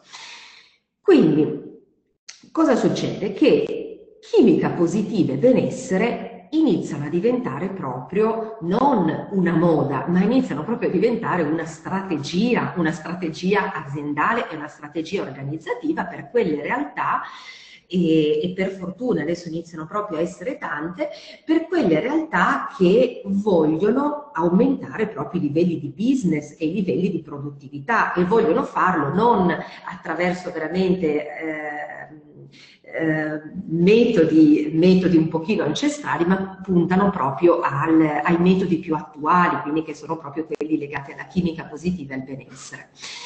E ehm, cosa succede? Che eh, alcune, alcune strategie aziendali inconsapevolmente, inconsapevolmente, qui cito di nuovo questa parola perché non, come diceva prima Laura, non tutte le aziende sono negative o positive, assolutamente tutte le aziende mettono in atto delle strategie aziendali che inconsapevolmente poi portano, portano un ambiente di lavoro che lavora a chimica negativa, senza, senza più di tanto saperlo. E, ehm, e quindi che cosa noi poi intendiamo con, chi, con organizzazioni positive. Intendiamo né più né meno far funzionare al meglio l'uomo lavorativo, far funzionare al meglio il nostro cervello, far funzionare al meglio veramente le nostre performance, le nostre attitudini e le nostre nostre competenze. Eh, le organizzazioni positive quindi rivedono un pochino quelli che sono i processi, i processi di vita aziendale. Per processi di vita aziendale è logico che ci sono anche quelli legati al, al, alla selezione, al recruitment, come, di, come, sottolineava prima Gianni, legate proprio anche ai premi che un'azienda eh, mette in atto. E eh, per organizzazioni positive intendiamo anche eh, tutti quei processi organizzativi che interagiscono con i comportamenti che noi portiamo nelle nostre aziende come, come leader e come, e come dipendenti interagiscono anche con la cultura della mia azienda per produrre, per produrre benessere e chimica, chimica positiva. Quindi le strategie di benessere sempre più si legano alle strategie di business. Eh, sempre più aziende nel momento in cui vogliono apportare dei miglioramenti e dei cambiamenti alle proprie strategie di business, ehm, integrano sempre, sempre anche delle strategie di benessere. Come ho detto prima, è logico che tutto ciò passa anche proprio dal andare un pochino a rivedere come sono regolate le nostre assunzioni, i nostri premi e la nostra crescita aziendale, perché anche lì sono regolate, come dicevo un pochino all'inizio, magari da dei modelli mentali inconsapevoli che poi non fanno funzionare al meglio l'azienda, non fanno funzionare al meglio le performance, non fanno funzionare al meglio la, la, chimica, la chimica positiva e quindi il benessere aziendale. Naturalmente per portare avanti tutti questi ragionamenti eh, è logico che di base ci vuole un grande livello di conoscenza e di coerenza tra diversi aspetti che eh, caratterizzano le organizzazioni. Allora, prima di tutto ci vuole una buona e adeguata conoscenza di quello che crea benessere nella persona e qui ci sono anche tutti gli aspetti Ok, scusatemi, sono, sentivo un'interferenza.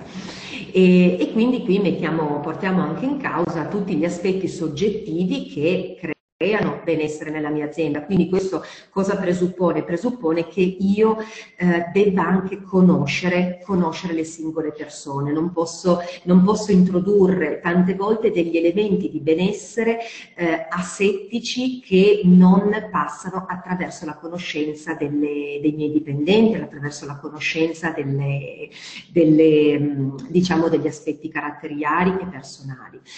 Prevede un buon livello di conoscenza dei modelli e della cultura organizzativa, come abbiamo, abbiamo visto all'inizio. Prevede una buona conoscenza delle strategie e delle pratiche organizzative che io metto in campo per, per produrre, per crescere, per promuovere, per, per, come ho detto prima, per selezionare le, e per reclutare nuove, i nuovi ingressi prevede una buona conoscenza, una buona coerenza tra i, anche dei processi organizzativi e dello stile di leadership.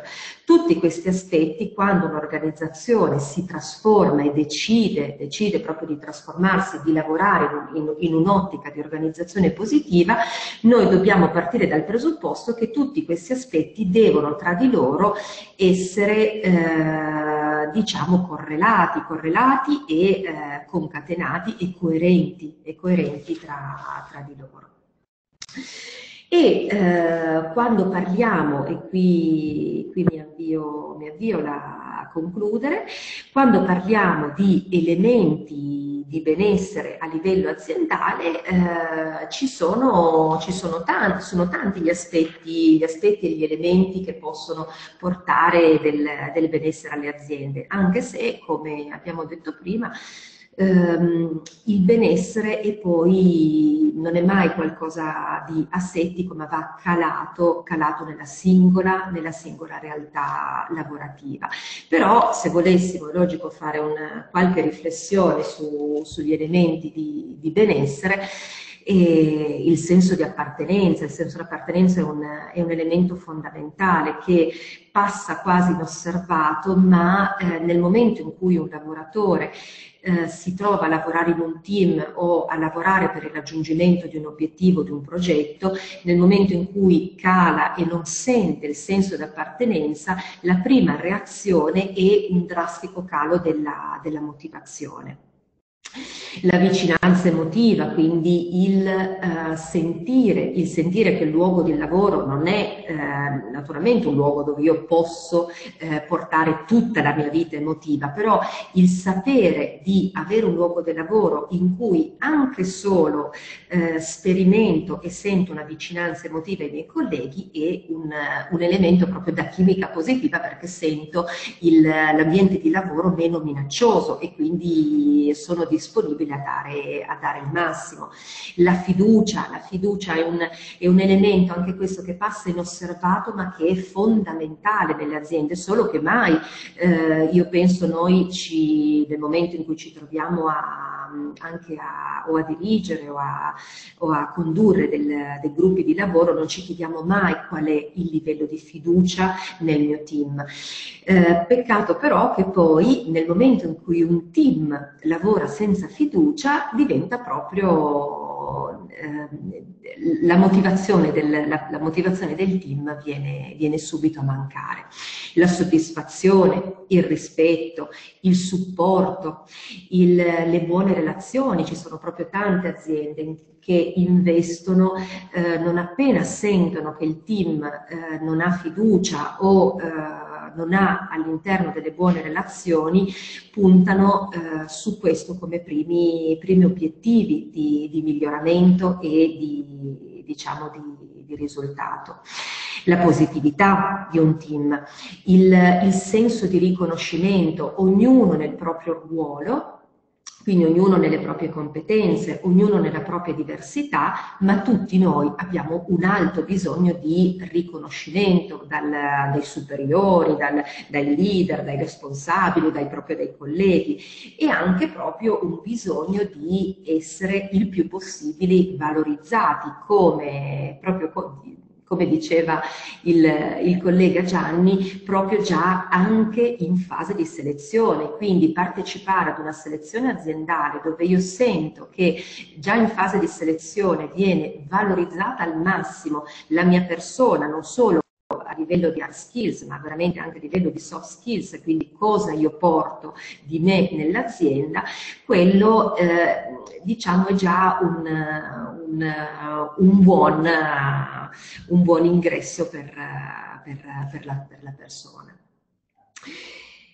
E quindi spero di non essermi dilungata, dilungata troppo perché l'argomento, eh, è molto ampio, l'argomento è molto ricco e, e poi è logico che ehm, ehm, il, il, più delle volte si cala, si cala nelle, nelle singole realtà lavorative.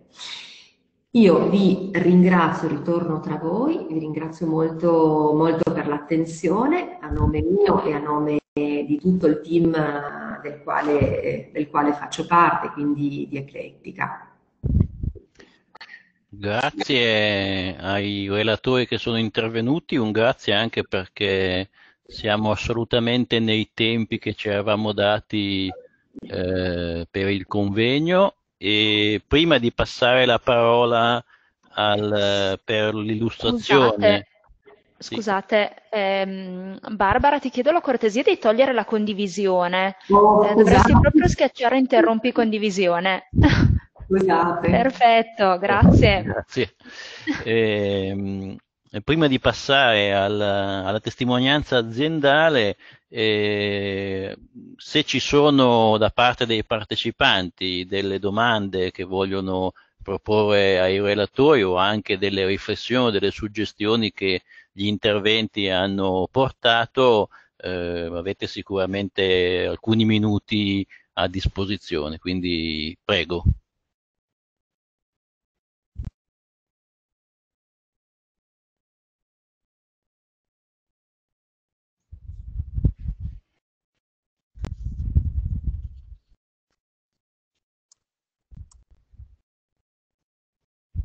Ovviamente per intervenire eh, diciamo, non devo abilitarvi io, ma eh, autonomamente ciascuno può abilitare il proprio microfono per proporre il suo intervento.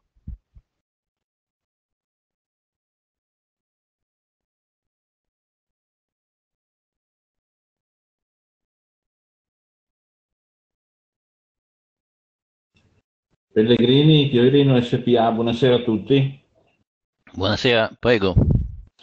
Solo un intervento molto breve sul concetto, sui concetti che sono stati espressi, molto interessanti. Quello che diciamo, esprimo con questo intervento è la mia perplessità sui tempi. Cioè, mi sembra tutto molto che richieda diciamo, delle tempistiche estremamente vaste e diciamo, un insieme di attività molto complesse, anche se diciamo, trasversali. Volevo un commento su questo aspetto qua, perché un conto è esprimere il concetto, un conto è trasportarlo sul campo. Eh, diciamo, mi interessava capire, se è possibile, brevemente, diciamo, le esperienze di chi ne sa qualcosa più di me, che cosa significa trasferire queste modalità eh, sul, sul, sull'azienda. Ecco. Certo, eh, grazie mille. Eh, Barbara, vado io, vai tu? Vai pure, Laura. Allora, grazie perché in effetti riportare il discorso poi sulla concretezza è sempre molto importante. E, ehm, allora, c'è da dire due cose. Eh, la prima è che questi, questo tipo di percorsi sono sempre, sempre costruiti su misura. Eh, nel senso che, infatti, voi avete visto che nel, nel, discorso che abbiamo fatto io e Barbara, ma anche che ha fatto Gianni, non abbiamo delle ricette piuttosto che dei protocolli ecco, di, di, di lavoro molto già fissi e, e determinati a priori. Eh, quando si fa questo tipo di percorso eh, è necessario appunto fare prima una fotografia di quella che è la realtà e poi si costruisce insieme il percorso. È chiaro che i tempi non sono dei tempi brevi. Per dare un ordine di grandezza mi riferisco a una delle esperienze che noi abbiamo seguito più da vicino, che è un'azienda di Pordenone che si chiama CGN Servizi, è una delle più grandi aziende che si occupano di servizi fiscali. Diciamo che il loro percorso di, chiamiamolo traghettamento, è durato un paio di anni, però loro hanno iniziato a vedere i primi effetti eh, diciamo, di questa transizione dopo i primi eh, 4-5 mesi. Perché cosa succede? Quando si innescano una serie di pratiche, di processi, poi è un po' come se tutto si accelerasse, come se si verificasse un fenomeno un po' di effetto cascata. Quindi poi in realtà il lavoro è come se si autoalimentasse e la cosa interessante tra l'altro è che quello che succede è che poi ehm, diciamo quello che è un percorso che potrebbe venire visto come un tempo lungo anche in termini di accompagnamento da chi come noi fa consulenza in questo campo, in realtà poi invece genera un discorso di autonomia, cioè capito un pochino l'ottica in cui si deve andare, qual è la direzione in cui si deve andare, eh, ci, ci, si, ci, si, diventa indipendenti, quindi poi molto del lavoro in realtà eh, viene fatto internamente, proprio eh, grazie alle competenze che i leader hanno acquisito e alle, alle, capacità che hanno condiviso poi con i loro collaboratori. Quindi è vero che i tempi sono lunghi, però è anche vero quello che dicevo prima, cioè che nel giro di eh, 5-6 mesi si innesca un pochino questo effetto a cascata che genera anche la capacità di lavorare in autonomia. Non so se ho risposto alla sua domanda o se Barbara magari vuole aggiungere qualcosa. Per me è sufficiente, la ringrazio. Grazie a lei per averci dato questo spunto. Qualcun altro che vuole intervenire?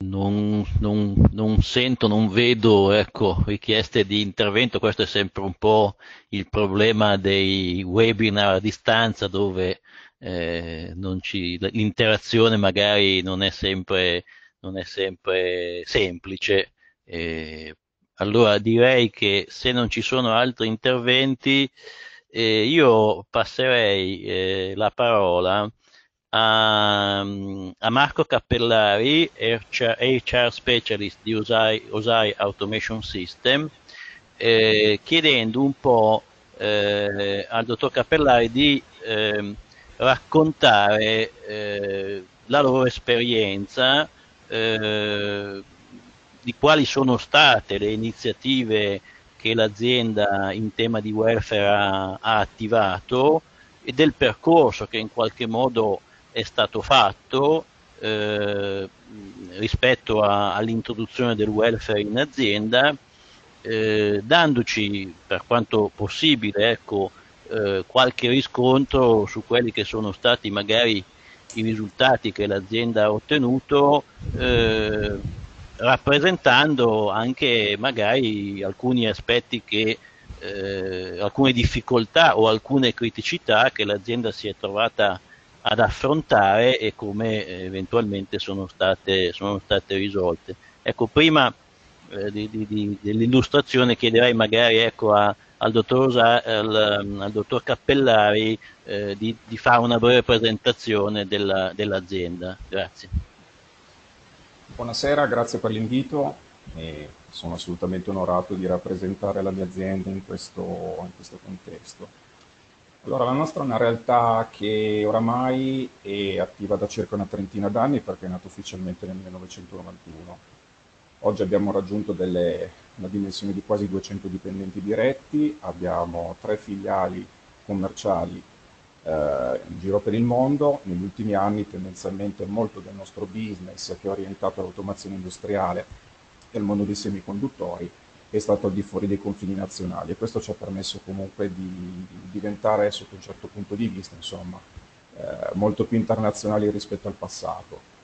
È chiaro che la nostra storia comincia a essere abbastanza lunga e articolata e sicuramente già anche solo cinque anni fa, quando io sono entrato in azienda e eh, ho iniziato diciamo, a ricoprire il ruolo eh, di addetto alle risorse umane, la struttura era sicuramente differente e anche il contesto ehm, che era attorno a noi lo era altrettanto.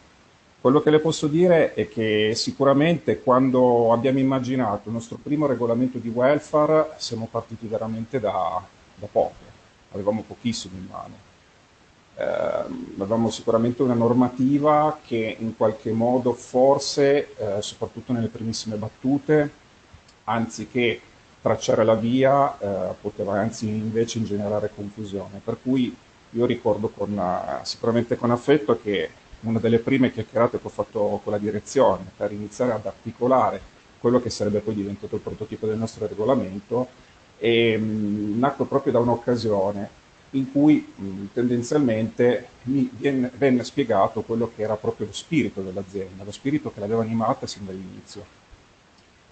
Faccio una piccola regressione, questo perché mh, chi non è del territorio probabilmente non ci conosce. L'azienda nel 2016 arrivava da un evento molto traumatico, da un lutto molto importante, perché nell'ottobre del 2015 era scomparso prematuramente il suo fondatore e imprenditore Carlo Ferrero. La famiglia Ferrero, con una scelta coraggiosa, decise poi alla fine di quell'anno praticamente di continuare e di investire. E fece una sorta di patto con tutti i dipendenti per poter andare avanti, perché c'era bisogno veramente dell'aiuto di tutti per poter diciamo, superare quel, quel momento così drammatico. In effetti uno dei pilastri, dei fondamenti di, Osai è proprio legato diciamo, alla definizione di persone. Diciamo che amiamo dire che la nostra forza sono le persone, le persone sono viste non semplicemente come dipendenti, ma eh, quando entriamo in azienda siamo sì dipendenti, ma siamo poi a nostra volta comunque mariti, padri di famiglia, figli e quant'altro. In questo senso mh, mi sento di dire che l'analisi del welfare che abbiamo fatto è stata un'analisi che è partita sicuramente in sordina e si è, diciamo, si è fondata inizialmente su questioni di sensibilità e di educazione. Quindi uno dei primissimi obiettivi era assolutamente quello di garantire ai dipendenti delle forme di protezione ulteriori che potevano essere in qualche modo adottate e per se stessi e soprattutto anche per le proprie famiglie. Uno dei primissimi passi, quando ancora non immaginavamo poi di adottare una piattaforma come per esempio abbiamo oggi e un sistema di welfare strutturato on top, è stato quello di uh, iscrivere tutti i dipendenti a Metasalute a inizio 2017. Oggi questo è dato per assodato per quello prevede il nostro contratto collettivo nazionale nel 2017 l'iscrizione era ancora facoltativa. Posso dire che l'ho seguito in prima persona, tra l'altro ai tempi non si caricavano ancora le anagrafiche sul sito quando c'erano i nuovi dipendenti, quindi l'abbiamo fatta a manina con un modulo di 4-5 pagine per ogni dipendente. Quindi questo è stato sicuramente uno dei primissimi passi. E mh, su questo filone siamo andati avanti anche negli anni successivi, perché una volta che Metasalute nel 2018 è diventato diciamo, uno dei cavalli di battaglia del nuovo, del nuovo metalmeccanico industria, l'azienda ha deciso comunque di garantire un'ulteriore copertura, quindi siamo passati praticamente dalla, dal piano base al riconoscimento di, di integrativo B per tutti quanti i dipendenti. Nello stesso tempo, nel corso degli anni, sono state attivate più altre polizze, per esempio nel 2019 è stata attivata una polizza eh, legata agli infortuni, non agli infortuni sul lavoro, a quelli che possono essere gli infortuni nella vita privata. E tra l'altro questa polizza ha una valenza molto interessante, perché può essere per esempio utilizzata anche in fase di richiesta, parlo per esempio di un mutuo. Questo è tornato molto utile ai nostri dipendenti e sicuramente queste sono tutte ehm, facilitazioni, se vogliamo definirle in questa maniera, che in qualche modo possono davvero aiutare eh, l'azienda a creare un rapporto leale, un rapporto limpido, ma soprattutto molto solido e robusto con i propri dipendenti. Attualmente l'ultima polizza che abbiamo attivato e che ahimè abbiamo dovuto rinnovare è quella della copertura appunto contro il Covid. Speravamo per il 2021 di accantonarla, di pensare a qualcos'altro, però i tempi sono questi, per cui insomma abbiamo provveduto in tal senso.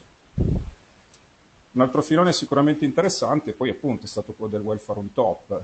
Eh, faccio un piccolo presupposto, noi non abbiamo mai avuto, non abbiamo il premio di produzione, per cui quando abbiamo iniziato a studiare il welfare, ho iniziato io insieme al nostro consulente del lavoro e alla direzione, non abbiamo mai, tra virgolette, preso in considerazione il, la questione di avere comunque un premio di produzione commutabile in welfare. Per cui quando abbiamo immaginato di avere un piano articolato, l'abbiamo immediatamente immaginato su quello che è welfare on top, questo ha, in qualche modo ci ha costretti a crescere ulteriormente, parlo a livello di mentalità, perché mh, abbiamo dovuto studiare sicuramente che cosa voleva dire eh, integrare la, la, retribuzione, arrivare ad un concetto di retribuzione allargata, integrata anche da altre cose, perché tendenzialmente il lavoratore dipendente è assolutamente abituato e difficilmente esce da questo schema a, ad ottenere una corresponsione di retribuzione per quello che fa per il proprio lavoro che presta. Quindi ci siamo resi conto che potevamo da un lato dare, a parte la retribuzione, quindi eh, come binario parallelo a quello che è il piano di carriera, di sviluppo di un dipendente, andare poi parallelamente a garantirgli tutta una serie di benefici di coperture, ehm, basando poi il nostro piano su una serie di requisiti, non tanto più professionali, o almeno solamente in parte, perché per esempio abbiamo, da quando abbiamo praticamente creato le prime due classi omogenee di beneficiari di welfare, oggi che ne abbiamo ben 14, non abbiamo solamente inserito requisiti quali per esempio il ruolo o la tipologia di inquadramento, ma abbiamo anche preso in considerazione l'età anagrafica e i relativi bisogni che ci possono essere, a seconda poi appunto anche dell'appartenenza generazionale e anche poi quella dell'anzianità aziendale ci siamo resi conto di una cosa, che grazie al welfare in qualche modo, al welfare on top, con delle categorie omogenee eh, ben mirate, abbiamo avuto la possibilità di andare in qualche modo a dare dei riconoscimenti alle persone con un'anzianità aziendale importante, ma che per tutta una serie di motivi non hanno avuto l'opportunità di crescere a livello di ruolo in azienda.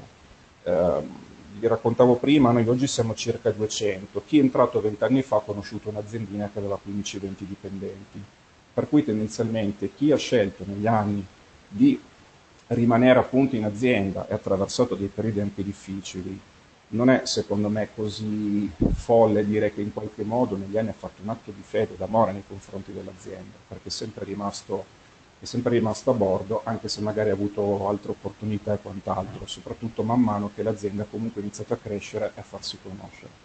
Per cui in questo senso abbiamo trovato appunto anche un modo per in qualche modo valorizzare queste persone, anche perché obiettivamente non è possibile creare figure di responsabilità per tutti, sarebbe, eh, sarebbe assolutamente folle come questione. E quindi qui arriviamo a quello che è il nostro welfare on top. Abbiamo iniziato con un progetto pilota nel 2017, con un regolamento che è stato scritto partendo da una paginetta e da quella famosa chiacchierata di cui vi raccontavo prima. E mm, nell'arco di due anni siamo arrivati poi ad adottare la prima piattaforma e allargare il welfare on top a circa 30 persone, 30 dipendenti. Nel frattempo avevamo appunto creato le prime otto classi omogenee. Successivamente eh, abbiamo ulteriormente allargato il contesto e eh, fatto una scelta importante, ovvero un cambio di piattaforma dopo appena un anno perché una cosa molto importante di cui ci siamo resi conto è che il welfare non è sufficiente applicarlo.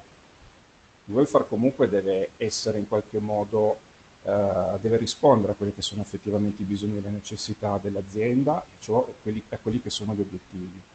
Per cui ci siamo trovati in una condizione dove la piattaforma che avevamo adottato era sicuramente molto forte rispetto a tutta una serie di prodotti, di servizi e quant'altro, ma non rispondeva alle esigenze che tendenzialmente eh, accomunavano poi quelli che erano i beneficiari che avevamo appunto inserito nel regolamento. Per cui abbiamo praticamente fatto questa prova e dopo un anno abbiamo trovato l'attuale fornitore che mh, in qualche modo ci ha secondati e mh, ci ha dato un grande valore aggiunto, soprattutto sulla comunicazione, perché un'altra criticità che abbiamo incontrato questi, in questi anni è stata proprio quella della comunicazione il grosso problema che eh, accomuna tante novità è che se ehm, in qualche modo non, non vengono accompagnate con, uh, con, la giusta comunicazione, con i giusti messaggi, c'è il rischio che le persone, i beneficiari, non comprendano pieno il valore di quello che stanno ricevendo.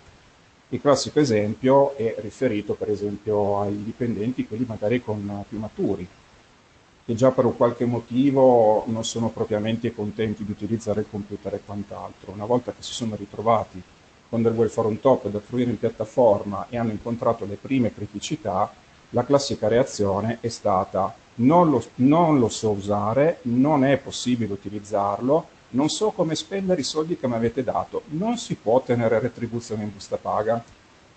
Ecco, questo è un momento, è un, momento un po' drammatico per una delle risorse umane, però è stato sicuramente mh, un, è stato sicuramente un momento chiave, perché questo ci ha fatto veramente capire tante cose e vi dirò di più, eh, grazie poi a quello che abbiamo imparato, che cosa è successo quest'anno?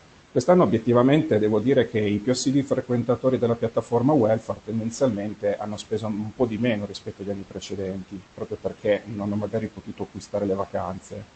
Ecco, il signore di cui vi parlavo prima a gennaio aveva già praticamente esaurito il plafond, perché nel frattempo comunque aveva capito, era riuscito a intercettare quelli che potevano essere, diciamo, dei servizi che in qualche modo rientravano nelle sue necessità, ha comunque tre figli che sono in età di scuole alte, per cui anzi hanno persino detto se non poteva, ha fatto la battuta ridendo se non poteva averne ancora, e questo un pochino, un pochino quanto.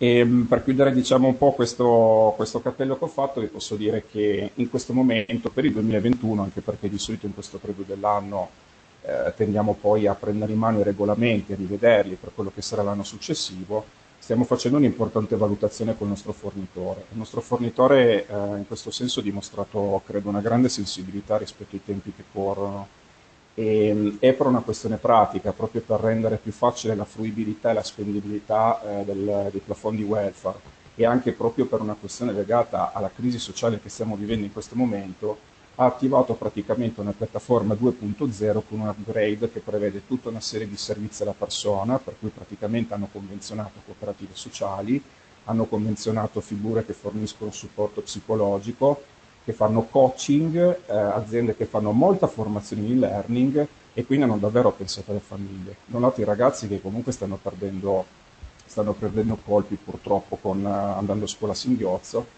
e dall'altro invece per i più fragili che, per, che in questo momento qui, eh, qualora abbiano bisogno di qualcosa, sono assolutamente più in difficoltà di tutti gli altri.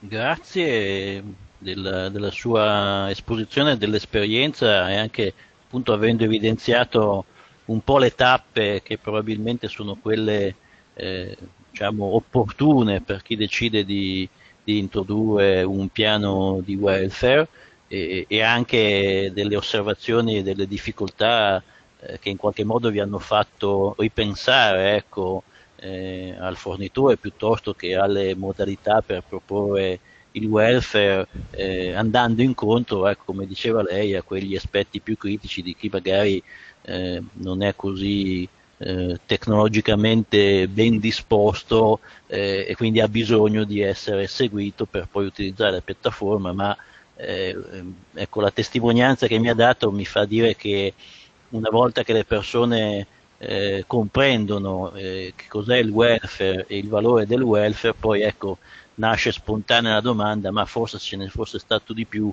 sarebbe, sarebbe stato meglio. Però questo è chiaro che credo sia un buon riscontro da parte delle, delle persone. Ecco, volevo ancora chiederle una cosa eh, siamo un po' ai limiti col tempo, ma è una richiesta che le faccio.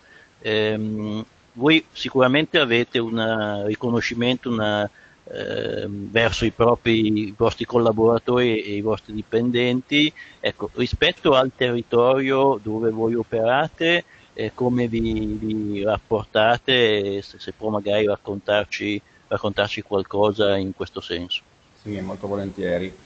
Il territorio è importantissimo perché comunque Osai ha scelto di, di, rimanere in canavese e di portare comunque avanti la sua storia qui e soprattutto di, di dare delle certezze e delle garanzie alle famiglie che chiaramente abitano, abitano nel luogo.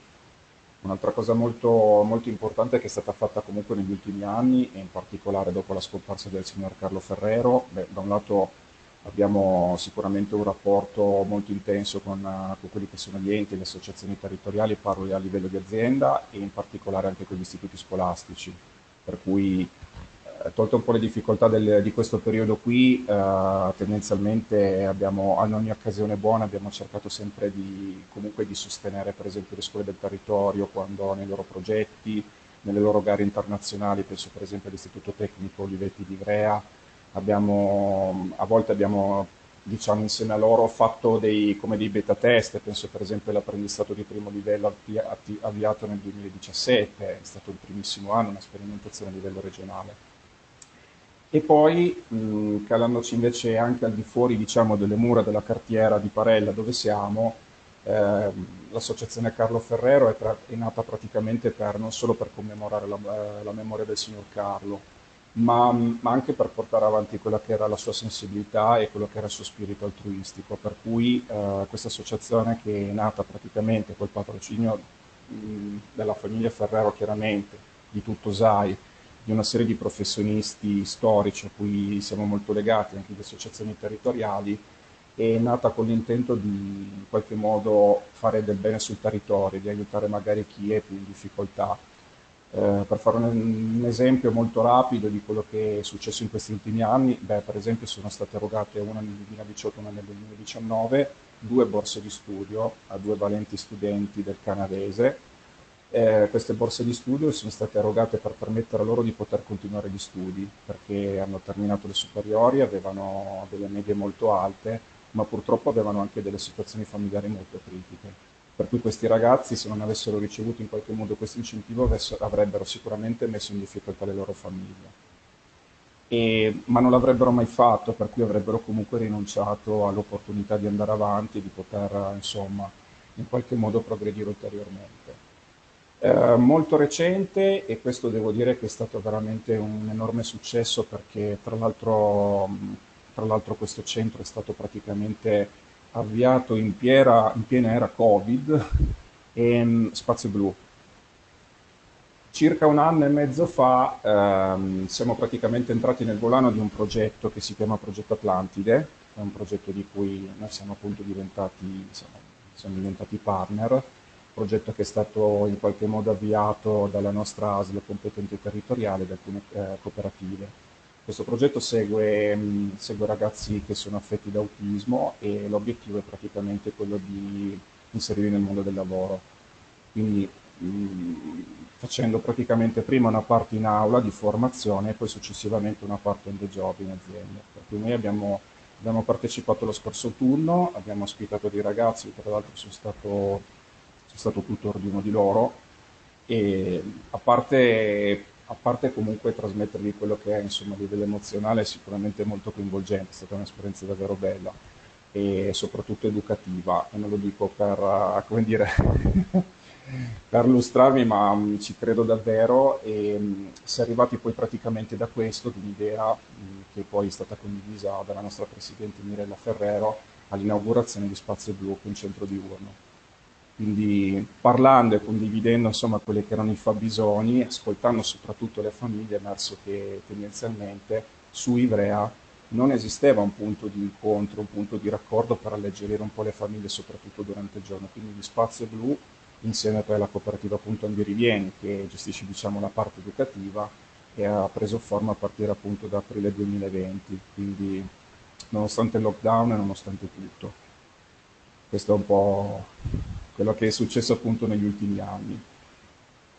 Grazie, credo che questo sia un altro elemento, eh, come diceva credo Claudio Ferrero all'inizio, dove appunto eh, dopo dal welfare aziendale bisogna poi eh, il passaggio successivo debba essere anche un po' un welfare di natura territoriale tenendo sì. conto eh, sicuramente dell'ormai difficoltà ecco, dello Stato di garantire eh, certi servizi e soprattutto eh, della difficoltà che magari il lavoratore e cittadino eh, non, non, di, di, cui ha, ha necessità.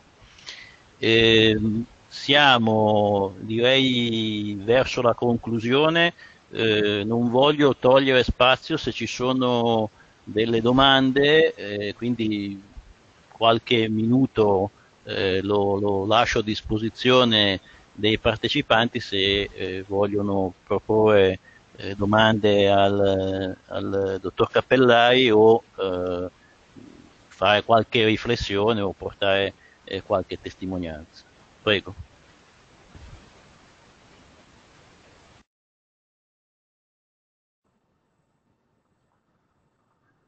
Ciao Roberto, buonasera a tutti. Ma...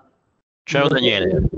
Sì, no, mi ricollego a quanto detto da Marco Cappellari perché anche per il 2021 il progetto Atlantide eh, andrà avanti e quindi stiamo già cercando aziende che possano ospitare i ragazzi, quindi è un, è un appello alle associate sia canavesane che ghedesi. A questo punto... Raccogliamo, raccogliamo eh, ecco, non lo so, se, io non, se non ci sono interventi a questo punto ti lascerei eh, la parola e lascerei a te appunto le conclusioni di, del nostro webinar. Io da parte mia ringrazio i partecipanti e i relatori. Grazie Roberto. Vabbè, intanto ringrazio i vicepresidenti Claudio Ferrero e Giancarlo Mezzano per il loro intervento. Naturalmente i relatori del webinar di stasera, la dottoressa Laura Conforti e Barbara Costamagna, ma naturalmente anche Giovanni Trevisoni e Marco Cappellari per le loro testimonianze. Ehm, che dire, mi tocca l'ingrato compito di tirare un po' le somme e chiudere i lavori no? dopo così tanto tempo. Eh, personalmente penso sia stata un, un'esperienza importante di collaborazione tra associazioni, tra soggetti magari anche diversi, ma eh, siamo riusciti a creare, a formare una bella, una bella squadra. In un anno e mezzo di lavoro siamo riusciti a, a, attivare un sito web, a creare delle guide per i datori di lavoro, degli opuscoli per i lavoratori, sportelli informativi, sono stati molto apprezzati anche dalle nostre associate, gli sportelli informativi che tutti i giovedì eh, si teneva in, in, associazione, i video, i video promozionali, i webinar, abbiamo fatto tantissimi webinar eh, seguiti da tantissime aziende, cioè un gran bel lavoro a mio avviso. Penso quindi che il progetto abbia funzionato e soprattutto abbia raggiunto gli obiettivi che il bando regionale aveva posto. Da un lato diffondere da un punto di vista tecnico, e qui magari abbiamo contribuito più io e te, Roby, a, a, spiegare il welfare da un punto di vista tecnico, ma naturalmente il secondo, il secondo fine del bando era quello di diffondere la cultura del welfare e mi sembra ci, che ci siamo riusciti tra le nostre associate. Eh, mi fa anche piacere naturalmente che la collaborazione continui perché alcune aziende del territorio canavesano naturalmente parteciperanno al secondo bando Welfare Lab con le aziende biellesi e naturalmente spero che possano crearsi le condizioni per uh, momenti di, di, lavoro in comune. Che dire, eh, io ringrazierei tutti, in modo speciale Roberto e Vanna per l'unione, Enrico Pesce per il filo da tessere, la Vittoria Barton che con quinto ampliamento è stata l'artefice di svariati webinar. Naturalmente non voglio dimenticare Valentina Perazzi e Massimo Robben che ci hanno accompagnato durante tutto questo percorso. Ultimi e non ultimi tutti i colleghi, Davide, Alessandra, Paola, Gianfranco, per i video, per eh, diciamo, il supporto il supporto che ci hanno dato da un punto di vista organizzativo. Spero di non aver dimenticato nessuno. Grazie, ovviamente mi unisco anch'io ai tuoi ringraziamenti a tutti, tanto ai partecipanti al webinar di oggi, a tutti i componenti eh, della squadra che hanno lavorato con noi, eh, non li cito per non dimenticare qualcuno, eh, quindi noi nonostante finisca ecco, il progetto Welfare Café, è chiaro che immagino anche voi come noi, sia sul welfare che sulla contrattazione di secondo livello, eh, siamo qui, siamo a disposizione delle aziende, quindi eh, finisce il progetto ma non finisce l'attività delle associazioni sul welfare. E, mh, purtroppo siamo in, in, workshop, siamo a distanza in webinar, eh, altrimenti in queste occasioni normalmente si fa il brindisi finale, eh, non possiamo farlo, facciamo un brindisi virtuale e ringrazio tutti per la partecipazione e ovviamente vi auguro un, un buon fine settimana. Grazie. Grazie a tutti. Buon